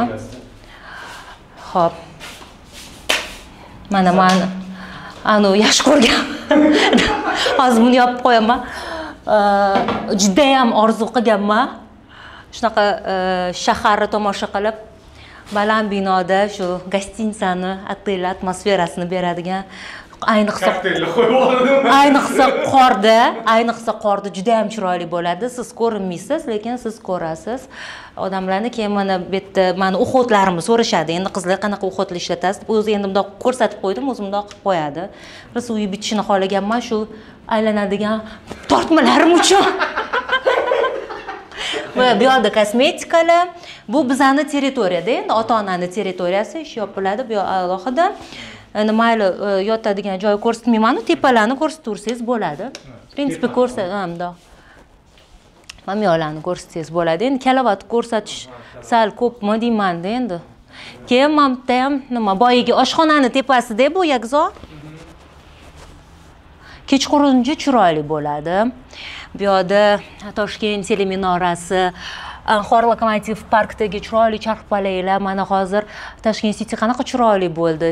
Hilton mehmonxonasi nesto hammasi butun shahar kaftdek namoyon bo'lib ko'rinib turadi mazza o'shanga man ishga borsam uyimni sog'inib kelaman tez shoshaman. Uyda turganimdan keyin ertalabdan ishga ketgandek salonga ketaman. Ikki uch soat makiyajimda o'tiraman keyin chochimga boraman bahrom zufarovga. Dila sayitbayeva bahrom zufarov bilan ishlayapmiz bugungi kunda hamkorlikda va o'rtog'imiz qadrdonimiz bugun kelishlari ha ha bu yoqda? Ha bolalar anaqada endi oybekda mana shunaqa savollar tug'iladi. Nega ota onaniki tepada bolalarniki pastda? Охранаlar bor endi ji. Tepada pastda ahamiyatga ega emas. Keling oybek kelmaysizmi? Ha. Bu e, yozgi oshxonam. O'choqda ovqatlar qilaman ha o'choqda ovqat qilaman. Bu gaz buni biz ko'chib kelganimizda plita. Hali gaz berishmaganda shu plitada ovqat qilardim boshida. Sovuq bo'lganda ham so'rimi nima deyiladi? Bu tapchan. Tapchan. endi milliy kalovat hozir kech yomg'ir yog'diyu. Yig'ishtirib tashladim. Endi salqin tushib qoldi. O'tirmayapmiz shu shunaqa. Yoz paytlarida kesuv masjidda o'tirib ha xudo xohlasa kelinglar. Maza qilib o'tiramiz siz ham man ham e, ko'proq o'sha to'ylarda yuradigan odamlarimizda sizni gapirish stilingizni kiyinish stilingizni e, keyin yana sizni umuman stilingizni to'ydagi ko'p hozir yangi chiqayotgan va chiqib bo'lgan ham boshlovchi qizlarda uchratyapman. O'zingiz ham bu narsani sezayotgan bo'lsangiz kerak yaxshi-ku havas qilsa man bitta bir yo yo nimasi yomon mayli yaxshi bu narsani to'g'ri qabul qilish kerak endi nafaqat stilim balki o'sha repertuarimiz bo'ladi bizani improvizatsiyaga yaxshi ishlasak ham o'zimni mattalarimni birga bir ko'chirilgan holatlarini ham ko'rib qolaman bu yomon chunki ishlash kerak endi mayli tashqi ko'rinish imij babi dizayner bilan ham ishlaydi manikidan oldin nima dizaynerdan oldin nima mayli uni to'g'irlasa bo'ladi lekin bilimni to'g'irlash qiyin shu tomonlarga e'tibor bersa yaxshi man u narsadan bir xil bo'lib qolishdan qo'rqmayman chunki e, ideyalar ko'p. Bemalol yangiliklar yaratib beraveramiz qaytarib yur pulini beramiz bemalol bemalol. Yangiliklar yarataveramiz shuning uchun nimasi yo'q juda напряг bo'lmaydi u narsa. bering ochib beraman. Ha bo'ldi ochdi. Shuning ko'rsatmasa endi. keyingi savolim sizni savollaringiz ko'p ekan savollarim ko'p конечно bu большой intervyu sizni manimcha bu birinchi katta intervyungiz bo'lsa kerak o'zi har doim yo'q derdim bilardingiz-ku yo'q yo'q Birinchi yo'q. katta yo'q intervyungiz Ke mayli katta xotin bo'lib qoldim intervyu bersam bera qolmaydi. Ay, bir necha yil oldin sizni ko'rsam kulgim kelyapti. Bir necha yil oldin o'zingizni qo'shiqchilikda ham sinab ko'rmoqchi edingiz ha e, o'sha hozir hazillashdim-ku e, kadr ortida ham. Chunki o'rtog'im bor edi-da shoir kompozitor yakzon degan. deb. E, yo'q unda emas gap e, judayam ko'p zarbalar yeganman. O'sha yili ayniqsa mm, dugonadek ko'ringan insonlardan. Chunki o'sha o'ziz boya suhbatimiz boshida aytib o'tganingizdek baribir manda soddalik bor. Baribir ro'z va ochkilarim bo'lgan har doim. Chunki odam boya aytdimku ham, qanaqa bo'lsangiz o'zingiz hammani shunaqa deb o'ylaysizda. Keyin man tushunganman odamni eng yaqin dugonasi endi baribir onasi. Onangiz bilan sirlashasiz eng chin do'stingiz onangiz bo'ladi. Keyin farzandlaringiz bo'ladi lekin bor dugonam e, ayollarni o'rtasida dugonaligi man ishonaman hamkasblarimiz bilan dugonachiliklarimiz bor e, lekin mana eng yaqin bff deyishadi best friend forever bor karina e, balasi bilasiz san'at guruhida o'n yetti yilcha bo'lib qoldi manimcha do'stligimizga. Lekin o'sha payt man ko'p zarba yeganman aynan o'sha siz yozgan qo'shig'ingizni qo'yib berganingizda qarang zo'r narsa qildim deganingizda man etkim kelib ketaverganda E, qo'shiq nomi yodingizda bo'lsa qizlarning dugonasi bo'lmaydi. Borib olib yoringga yomonlar bunaqa muxtorlar qiladi unaqa qiladi bunaqa qiladi. Hech kimsa e, onangdek sanga dugona bo'lmaydi degan e, mani ichki kechinmalarim bilan bog'liq bo'lgani uchun man o'sha qo'shig'ini aytgim kelgan. Man bilaman mani ovozimni aytishadi voy ovozingiz yaxshi chiroyli qo'shiqlarni ham zo'r aytsa kerak deb o'ylashadi. Lekin mani ovozim gapirishga ixtisoslashganda agar ha agar ashula aytmoqchi bo'lsam hatto karaokeda ham gapirib qo'yaman endi mana shunaqa turkiya purkiya qilib yozishibdiku man o'zi yaxshi ko'raman. Turetskiy musiqalarni turkcha musiqalarni nolalari yoqadi seriallar yoqadi hamma o'zbek ayollariga o'xshab taomlar yoqadi. Keyin endi chiqarmadikku u narsani lekin man bitta xonandamizga va'da qildim u qo'shig'i sovg'a qilishni judayam yaxshi qiz. Agar siz ham ruxsat bersangiz ularga sovg'a qilsak kimligiga qarab lekin. Kimligiga qarabmi? Man sotib olganmanu manikiyu и что bermaymizmi? Yo prava manda bo'ladi yo agar yaxshi aytsalar yaxshi e, bo'laman. yaxshi aytadigan. Ovozlari yaxshi. Siz ularga ko'p qo'shiqlar yozib bergansiz. Sizni e, nima deydi aynan bilimi bor grammatniy e, bilgandek bilgan bilgan odam bo'lgan ha mos tushadi ovozlariga. Man juda yam xohlagan bo'lardim. Tarbiyaviy ahamiyatga ega qo'shiqda shuning uchun e, baribir bunaqa asar deyish mumkin. Buni bunaqa asarlarni odamlarga ko'rsatish kerak chiqarish kerak eshitish kerak. Endi man e, to'g'risini aytsam judayam man endi perfeksionistmanu detallarga ahamiyat beraman. Chiqarib yuborishim mumkin edi. Xonanda bo'lib faoliyat olib borishim ham mumkin edi. Ko'pku unaqa e, qaytanga mayli ovoz boshqacharoq bo'lsa ham ozgina обработкаlar qo'shilsa ham e, studiyada ishlov berilsa ham ma'noli qo'shiqlar chiqardi hit bo'lib ketardi ham o'zingiz ham aytgansiz. E, lekin man tan olganman mani iqtidorim yo'q. Qo'shiq kuylashda mana tadbirlarga boramizda yetishmayapti tan olish desa mana hatto e, nilufar sotibaldiyeva mana yig'inlarimizda karaokelar bo'ladimi? Ashula aytadi shu chiroyli chiqadida yarashadi mana. Aytiladi qo'shiq bo'lib kuylanadi. Manda qo'shiq bo'lib kuylanmaydi. Manda she'rlar chiroyli chiqadi matnlar chiroyli chiqadi.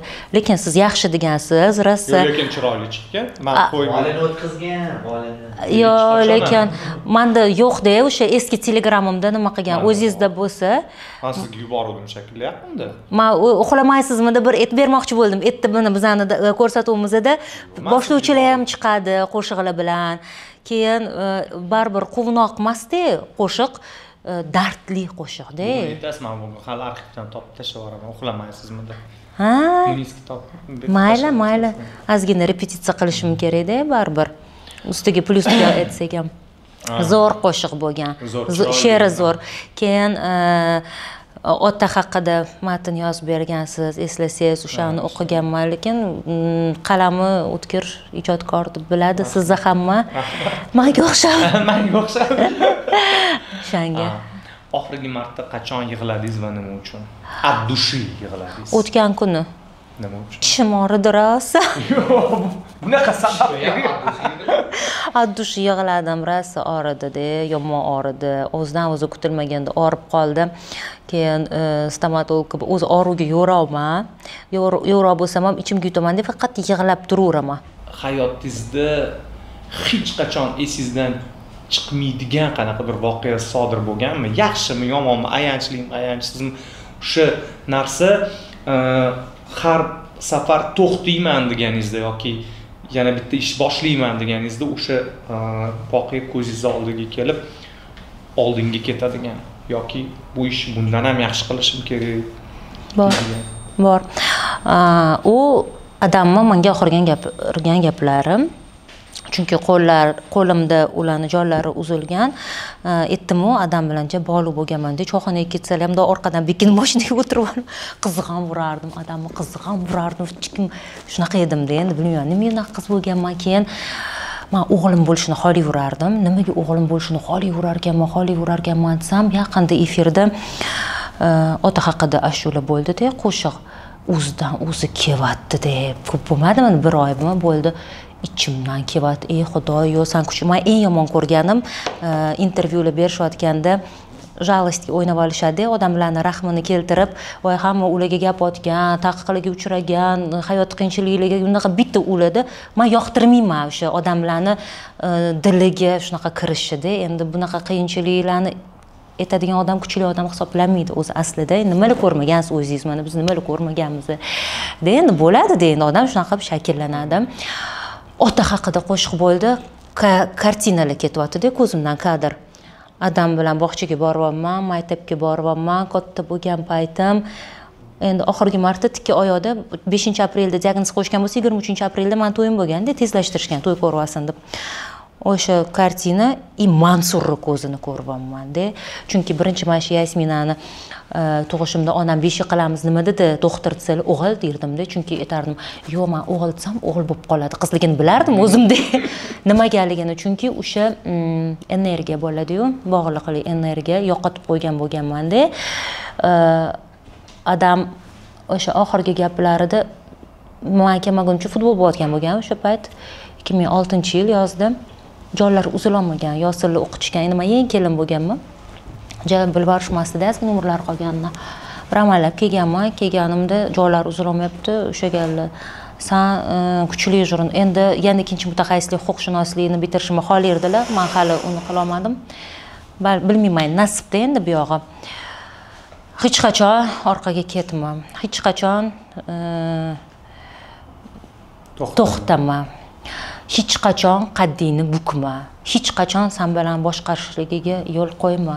Hech qachon ikkinchi odam bo'lma. Bo'lsang lider bo'l bo'lmasam ket chekin boshqa yo'nalish bilan o'zingniki topib lekin san zo'r jurnalistsan san e, shu e, notiqlik san'ating bilan keyin yana qo'shimcha e, huquq yo'nalishini ham nima qilsang o'zlashtirsang sandan zo'r sudya chiqadi sandan zo'r senator chiqadi. Mana shunaqa xohlardilarda endi. Shu odamni gaplari qulog'imni tagida jaranglab turadi. Yo'q qila olasan derdilar. Ada hayajonlanib ketyapman qilolmayman yo'q qila olasan derdilar. O'sha manga shu katta motivatsiya avtoritet bo'lganlarda endi man uchun. Ha o'shani hech qachon esimdan chiqara olmayman. Lekin e, hayot o'tishi bilan o'zi mm, tushunarkansiz. Ha to'g'ri.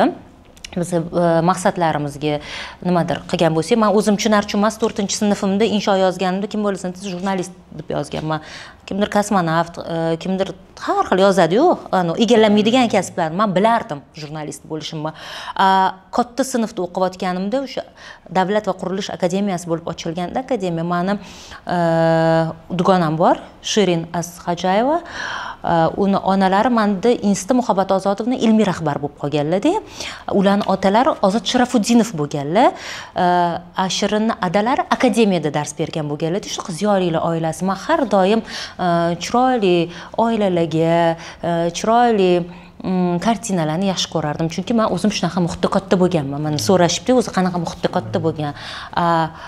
Bu man bu ayolli erkatoyligim bu onamga xos bo'lgan xislatda. Onam e, har doim uyda o'tirganlar to'rtta bolani qaraganlar uylarni eplagan lekin rost erkatoy xotin bo'lganlar. Yasanishlarim ham onamga o'xshaydida uyda o'tirsalar ham yasanib chiroyli bo'lib o'tirganlar har doim.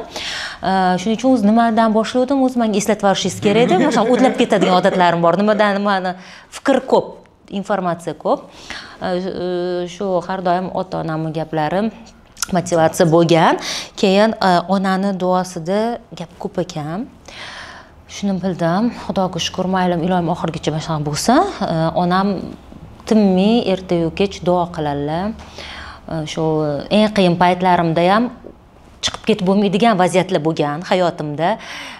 Shunaqa paytlarda ham silliq chiqishimda manimcha onam duolari yordam bergan keyin shu e, qizlar ammalariga o'xshaydi deydiyu ammalarim mm, juda matonatli ayollarda jasur shunaqa paytlar man yo'q to'xta deyman man bu yerda mana bunaqa narsa bo'lgan ammam bunaqa qilganlarku mm, chiqqanlarku hozir man yoshman man yana ham uch baravar chiqa olayman hayot to'xtadi degani emas deb o'zimga o'zim eng zo'r davolab o'sha odam o'zini o'zi zo'r davolaydida. U yoki bu vaziyatga tushib qolganingizda baribir e, o'zingiz bilan o'zingiz bitta o'zingiz qolasiz. Yaratgan yoningizda bo'ladi o'zingiz ham yaxshi bilasiz boshqa hech kim bo'lmaydi. O'shaning uchun e, bilib bilib ishni qilib yurgan yaxshi mayli. Yuring. Keling savollaringizni bering. Endi nimaga? Mana man sizga savol bersam maylimi? Bitta. Bitta savol bering. nima ha ho'p labim ho'p gapiring labim. nega ishirgansiz degan savol voy endi ishirganmiz o'sha ishirish chiqqan paytida. E, lekin e, bizada labimizni formasi shunaqa. U ishirilganida yarashmaydi manga. U qilib ko'rmaganmanmiz qilib ko'rganman. Mana bilmayman sizlarda e, ko'proq negativ qanaqadir hayotdan xafa bo'lgan savollaringizga hozir ahamiyat berdim. Aksariyat qism ha o'sha savollar o'sha tomoshabinlarnikida auditoriyani aytmoqchiman. Shundan bizni e, intellekti bilsak bo'ladida oybekjon e, baribir ham yo'q mani o'zimni fikrimda shaxsiy fikrim biza mm, faqat yomonlash yomonlash azobli kuni qiyin kun armon mana shunaqalar haqida o'ylasak shunaqa tortib ketaveradida o'zi. Pozitivniy mana man bilan hozir shuncha vaqtimiz ichida man qancha ayollarga zo'r maslahatlar berishim mumkin edi? O'zim bilganlarimda zo'r narsalar olishim mumkin edi. yosh jurnalistlarga zo'r e, maslahatlar berishim mumkin edi yo'nalishlar ko'rsatishim mumkin edi. Qayoqda oldi qochdi g'iybat savollarda to'g'risini aytaman odamlarga qiziq o'sha odamlarga qiziq. afsuski saviyadan demak biza yoshlarimizni kichikligidanoq o'zi bilan o'zini obro qilib qo'yishimiz kerak. Qarang mana siz aytyapsiz mana ayollarga qancha maslahat berishim kerak edi mumkin edi. Oling olib yeb yeb gapiring. yangi jurnalistlarga maslahat berishim kerak edi. Mana shu narsalar hozir hech kimga qiziqmasligini o'zingiz hali ham anglab yetmadingizmi yo'q man taslim bo'lmayman. Baribir bilasizmi? Baribir bilasizmi? Hattoki mana manga ham qiyin bu narsani bilaman sun'iy intellekt rivojlanyapti. Mana yaqinda ko'rgan bo'lsangiz e, sun'iy intellekt asosida bitta boshlovchini chiqarishda matn o'qiyapti har xil tilda. Shanna priskini ham qilishdi. Ha endi baribirga ham nima deydi? Lev tolstoy mir vaynasini urush va tinchligini yozolmaydi qodiriylarni said ahmadlarni tushunyapsizmi u boshqa narsalarda u baribirga ham yetib keladi odamlar. Yo'q shu. Zamon o'zgaryapti ho'p zamon o'zgaryapti bo'lgani degani emasku. To'ppa to'g'ri. Lekin hozir borku mana uzoqqa ketmay o'zingizni farzandlaringizga chaqirib siz onasi bo'lgani uchun balki maslahatingizga quloq solishadi. Man ona sifatida maslahat bermayman. boshqa yoshlarni hozir oling. Masalan unaqa qilma mana bunaqa qil desangiz san kimsan deyapti hozir? Hmm. bemalol to'g'rimi? O'shanga balkim ruxsat beryotgandirmiz shuni xohlayapti shuni eshityapti deb tomoshabinni o'sha xohlayotganini beryotgandirmiz vaholanki biz ma'rifat ulashuvchi insonlarmizda endi. Mana shunaqa gaplaringizni yaxshi ko'raman ma'rifat ulashuvchi endi baribirda endi madaniyat odamlarini ham masalan bu yerda ozgina boshqacharoq man xafa bo'layotgan narsamni aytaymi?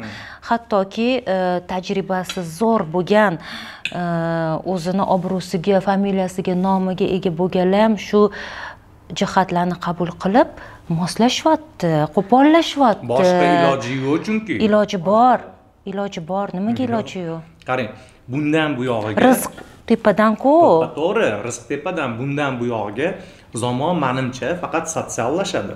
Mayli mana sotsiallashsin qarangda sizga как раз shunaqa savol yozib keluvdimda man oldingi televideniyani ko'rgansiz ramkadagi to'g'rimi? Masalan oldin chiqib olib man hozir u boshqa yo'nalish. Deya olmayman, kelayotgandim desangiz o'sha kuni ishdan ketardingiz. Hozir chet el- bemalol chet elga chiqsangiz ham ketardingiz Yo'q, ruxsatsiz. O'zi vashi efirda Hozir- efirda agar siz aksentda gapirsangiz hech narsa ho- hozir efirda o'zingiz ham chiqib hamma narsa qilyapsiz siz ham sekin moslashyapsiz to'g'ri u boshqa yo'nalish. Yo'q. saviya boshqa yo'nalish. O'zgarish hamma sohada mediadagi erkinlik mana mediadagi erkinlik u boshqa yo'nalish. Bu demokratiyani bitta belgisi chunki biz erkin demokratik jamiyat barpo etish yo'lidan ketyapmiz. Unda u boshqa narsa bosqichma unda bosqich nega aksentda gapirishga ruxsat berishyapti? Chunki e, soddaroq bo'lsin deyishyapti. Lekin e, ruxsat beriladi. Cheklovlar yo'q. Baribir ham siz eshiting har xil shevalarda gapirilsa adabiy til me'yorlariga amal qilinmasa tushunasizmi siz hammani gapini? Man bir xilda partnyorim uchunmay qolaman. Man ham tushunmay qolaman partnyorimni bir xillada g'uldir g'uldir qiladi. Nima deb man endi demoqchi edim yo'q. Lekin mana siz aytyapsiz man taslim bo'lmayman deyapsiz lekin oddiygina o'zingiz chiqadigan uxlamaysizmi? Ho'p siz уже taslim bo'lib bo'ldingiz.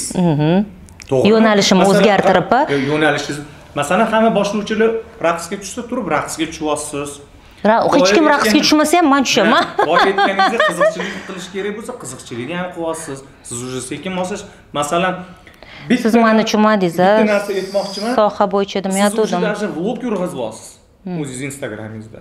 To'g'rimi?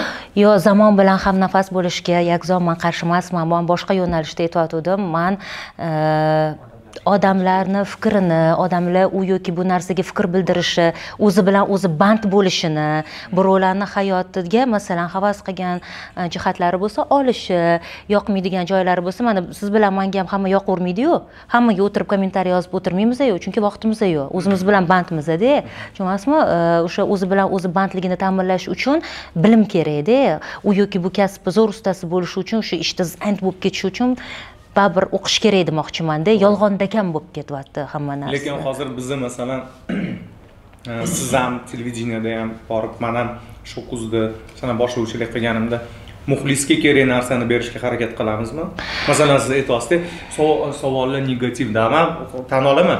Masalan man hech qachon mana bunaqa savol yozmagan bo'lardim. Hozir bundan keyin beradigan savolimda и siz ham yozmagan bo'lardingiz. Man bu narsani ikki yuz foiz bilaman. Nimaga? Chunki biza boshqa muhitda katta bo'lganimizda umuman boshqa e, dunyoni odatlarini Maktab- maktab- maktab boshqa bo'lgan.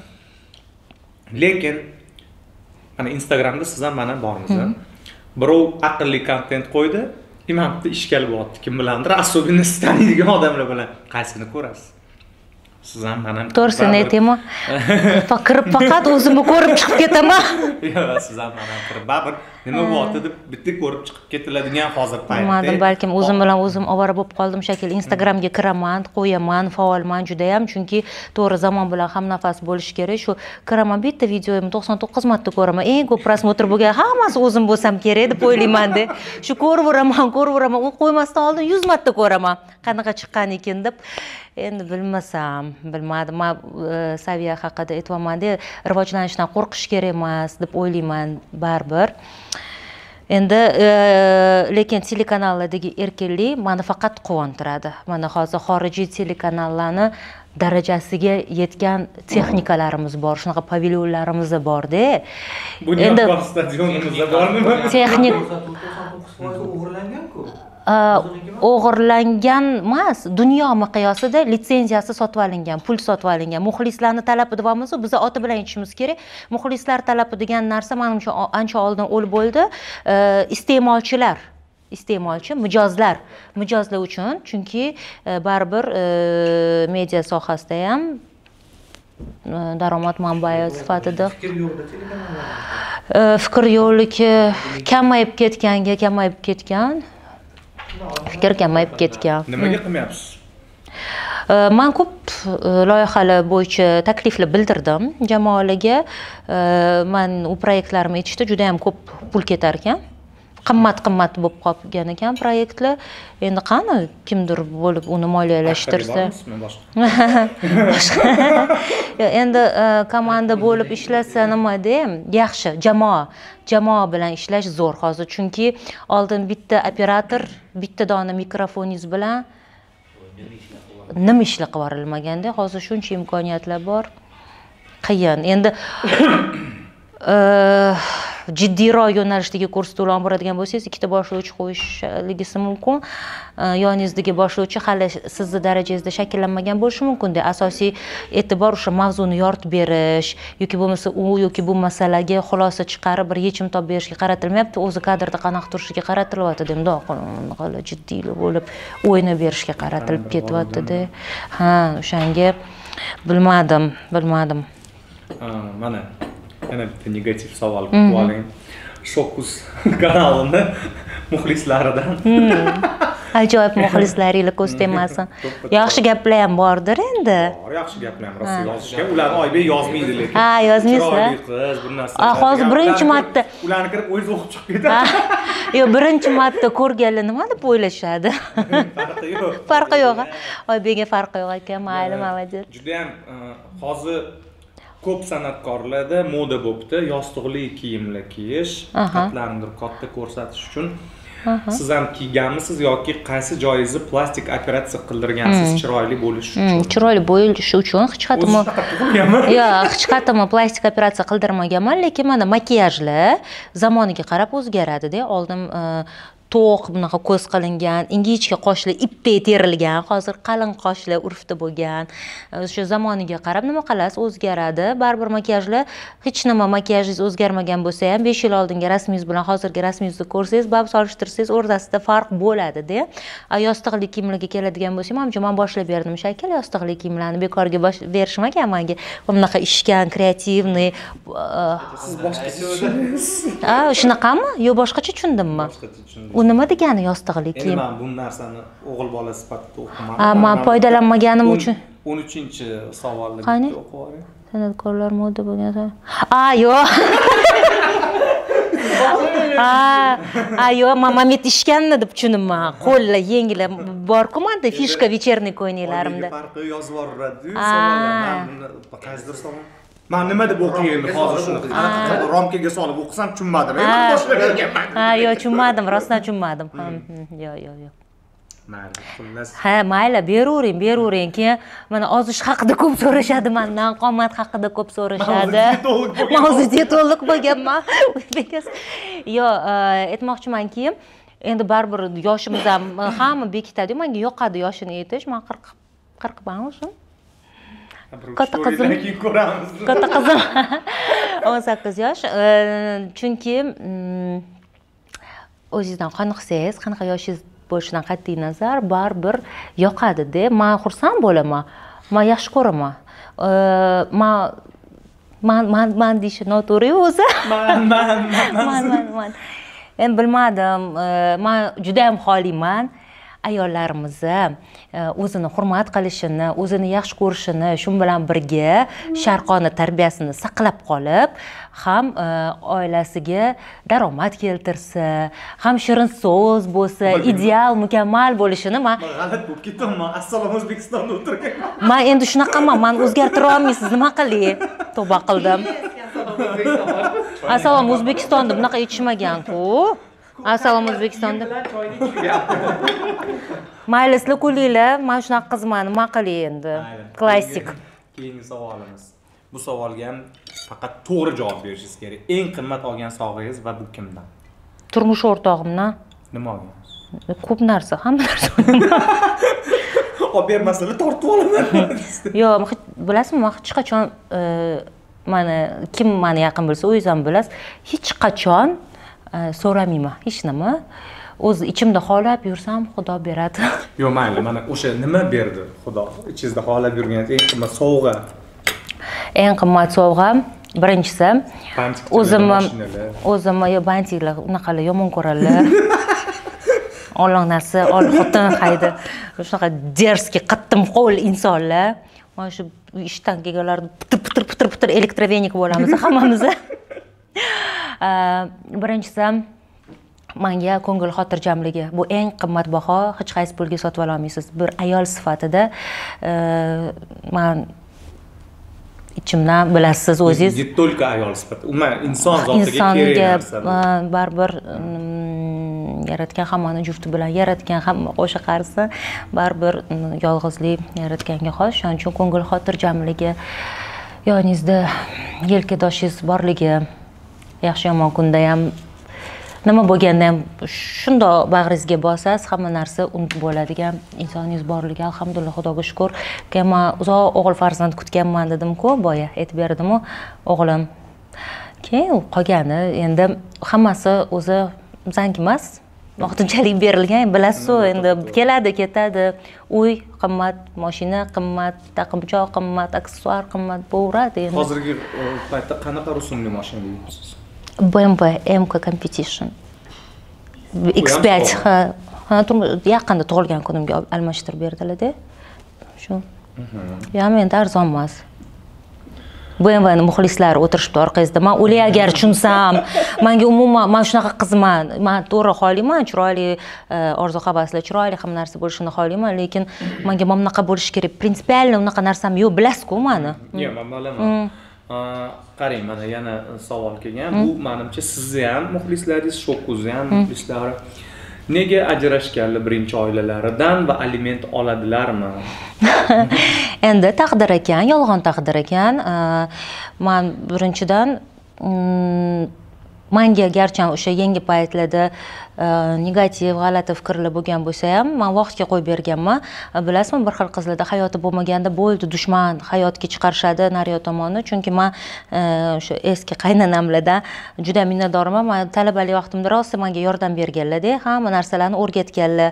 Aytdimku mana uyda yasmina hamma ish qilsa farzona faqat o'qiydi. Mana faqat o'qiydigan qiz bo'lganmanda lekin qarashardim generalniy уборкаlarda onamlarga. Ulardan ko'p narsa o'rganganman. Endi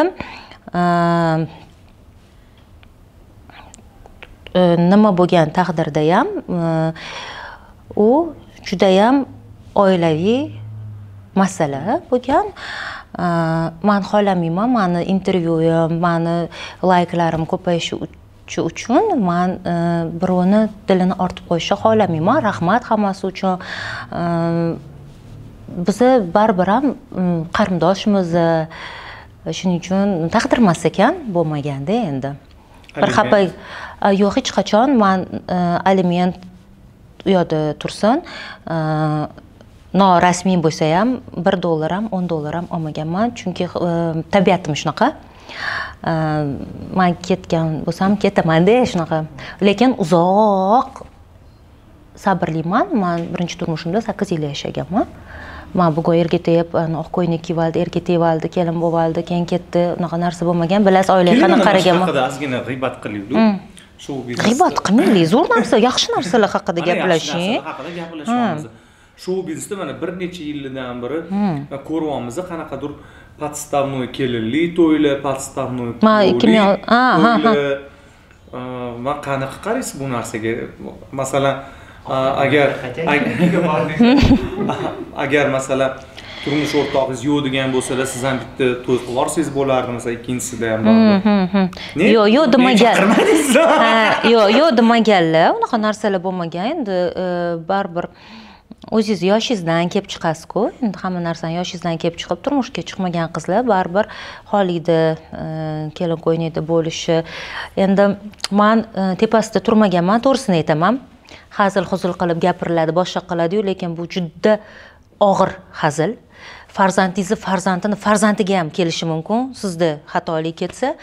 Shuning uchun e, muhokama qilyormayman man tepasida turmaganman u podstavami? Yo haqiqatmi? Man bilmayman balkim rostdan kimdir turmush o'rtog'i bilan alohida to'y qilishgandir.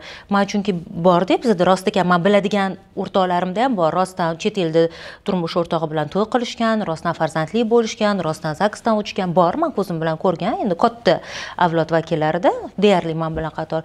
Endi keyingilarini man bilmayman balkim mm, aldashgandir muxlislarni aldayapman deb o'ylashar balkim lekin aldov bo'lgan bo'lsa man hech kimga maslahat bermayman. Birinchi bo'lib siz o'zingizni o'zingiz aldayotgan bo'lasizda. Unaqa yolg'onlardan hali hech kim baraka topmagan.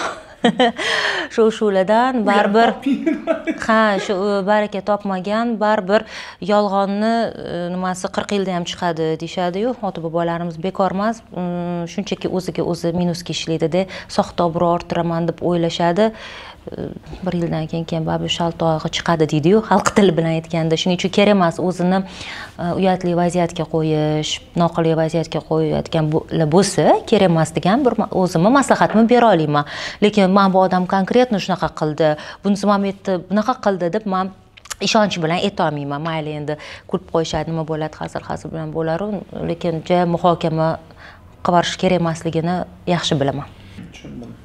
Nima unaqa tushundim deysiz shu kuzda ham nima qildim anaqami ma'naviyat us qildimi shu kuzda anaqa. oila qachon mustahkam bo'ladi? Ayol baxtli bo'lsa bilasizmi kuyov bola bo'ldim biz so'z erkinligi va matbuot bosh ha bo'ldi. Sizlarga вообще qiziq emas unaqa narsalar to'g'ri. Videodagilarga muxlislarga obunachilarga e, bir biridan chiroyli go'zal va maftunkor opa singillarimizga intrigani yaxshi ko'radiganlarga o'zi to'g'ri shu kuz juda yam to'g'ri yo'nalishda e, man endi o'zimni saviyamdan kelib chiqib gapiraveraman lekin mana aytib o'taman kezi kelganda smida ommaviy axborot vositalarida uchtasi har doim qiziq bo'lgan. Siyosat sensatsiya e, smert mana bunaqa narsalar har doim qiziq bo'lganda uchtasi qiziq bo'lgan shuning uchun bu normal holat to'g'ri tushunaman o'shaning uchun ham bu yo'nalishinglardan kelib chiqib hech qachon bunaqa intervyular bermagan bo'lsam ham siz mani qadrdonimsiz uyimni to'g'ri sizniki mana biz oybekjon bilan ham bugun tanishdik yigitlarimiz eshigimiz har doim sizlarga ochiq niyatlarim har doim nimani o'ylagan bo'lsanglar amalga oshsin. Xudodan nimani e, yurakdan bildirib so'ragan bo'lsanglar hammasi amalga oshsin. Chunki e, biz aytamizu mana bu borliq e, shu koinot. Man qonunlari. yo'q rostdan ichingizdan rostdan nimani xohlasangiz o'sha bo'lar ekan E, Э, iloyim bo'lsin hech kimda armon bo'lmasin. Э, mani armonim bor.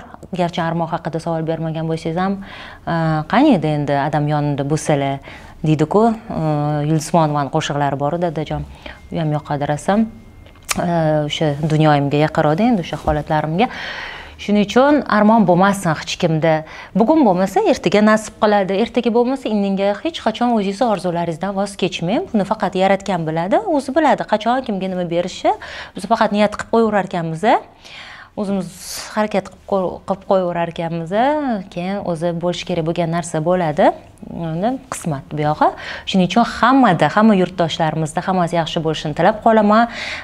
Bizani tinchligimizga ko'z tegmasin. Balandparvoz gap bo'lib tuyulishi mumkin lekin mana dunyoda bo'layotgan voqealarni bilasiz. Qanaqa falastin ukraina shunaqa xudoga shukur alhamdulillah deymiz bizni shu tinch yurtda yashayapmizda bir xilda eshitib qolasiz undan olib qolishadi odamlar bundan mana anaqa limit haqida yozib qo'yishadi. Lekin tinchlik hech nima yetmaydi xudoga shukur bag'ri butunlikda to'kin dasturxonda sog'lom bolalarimiz bag'rimizga bosib o'tiribmiz qo'lli kiri qachondir keladi qachondir ketadi keladi ketadi bo'radi. Hammasi bo'lishi kerak bo'lgan narsa. Unaqa narsalarga qarab yubormaymiz qancha qarab shuncha qochadi. Shuning uchun sog' bo'linglar har doim. Efir yoqqan bo'lsa man xursandman. Ko'p gapirib yuborgan bo'lsam uzr endi faoliyat turim boshlovchilik rahmat ko'rishamiz. Shokus kanalida bugun judayam kanal bilan man bilan emas kanal bilan bir biriga qarama qarshi nima deydi kuchlar xuddi bir kurashganga o'xshadi. Lekin shunda ham man o'ylayman judayam qiziq intervyu bo'ldi. Til topisha oldik bir birimiz bilan chunki bizni bir necha yillik e, qadrdon do'stlarimiz e, o'zi laziza bilan hayotda mana lazizani stilida gaplashamiz bizga Lekin men o'zim o'z stilimda gaplashdim-ku, bilasan. bir narsa emas. Ha, to'g'ri. lekin shu kuz kanalda agar kuzatgan bo'lsangiz man вообще boshqa odam bo'lib intervyu olaman deb ha man ko'rdim instagramlarda lekin bilaman ishlayapsiz ko'ryapman Shokuzni muxlislari ham mani shunaqaroq deb bilishadi ozgina mayli yangi lekin haqiqiy yagzonni kashf qilishdi baribir.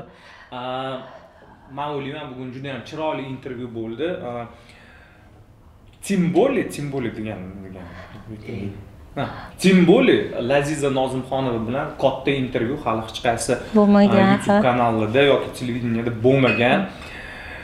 Biza ham birinchilardanmiz hali ertaga. Hali yana chaqirishadi. Sizni ham kuting endi hamma chaqiradi bundan keyin. Ha keyin yana bitta narsa aytmoqchi edim. Shu man ko'ngilochar yo'nalishga o'tdimku ko'p ustozlar qo'ng'iroq qilishdi nimaga? Shunaqa jiddiy e, ko'rsatuvlarda chiqqan qiz shunaqa chiqyapti. Demak man u yerda missiyamni tugatibman degan bir javobimni beruvdimda endi man sizga aytmoqchiman e, sizda ham e, o'zingizni o'rningizga ega bo'lgan yulduzsiz siz. Shou biznesda to'y biznesda emas shou biznesda siz yulduzsiz qalamingiz kuchli shoir qanaqa musiqalar qanaqa she'rlar bastalaganingizda hamma biladi. Sizga ham bildirishi mumkinda endi muxlislar. Nimaga shundoq shoir kompozitor qanaqadir e, shu kuzda intervyu olyapti? Nimaga bunaqa? Bo'lishi mumkin. bo'lishi bo'lishi mumkin tanqidlar e, почему бы нет degan joylarida e, yigit kishiga birinchidan qirq hunari oz biza payti bo'lar ekanda o'zi.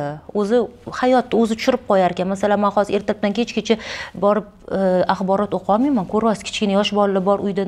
O'zi joyiga bilib bilib xudo tushirib qo'yar ekan shuning uchun e, hech qachon eshitmagan bo'lishingizni xohlardim tanqidlarni mas'uliyatli inson hamma joyda baribir mas'uliyatli. Eng asosiysi e, inson sifatida yaxshi bilamiz qalbingiz toza adekvat odamsiz. U yoki bu narsalarga sog'lom fikr bildirasiz. Man bilgan yakson bilmayman jamoada endi boshqacha obraz bo'lishi mumkin. Man bilmayman qanaqasizlar man bilgan shunaqa shu narsa qolsin har doim. Va shokus kanali uchun bugun muxlislari uchun juda ham qiziq intervyu qilishga harakat qildik. Albatta IQsi yuqori odamlar uchun bu juda ham qiziq intervyu bo'ladi. Xudo xohlasa mani bunga ishonchim komil. Va shokus kanalini kuzatishda davom eting. Keyingi intervyularda ko'rishguncha deb qolamiz. Mehmon do'stlik uchun. Qolib qoldilar yo'qsa tomoshabinlar nima qilarkan mehmon do'stlik uchun chiroyli dastur Osh bo'lsin. kattakon rahmat. rahmat sizga ham. Kelib turinglar shunaqa. Kelamiz. Ho'p kelinglar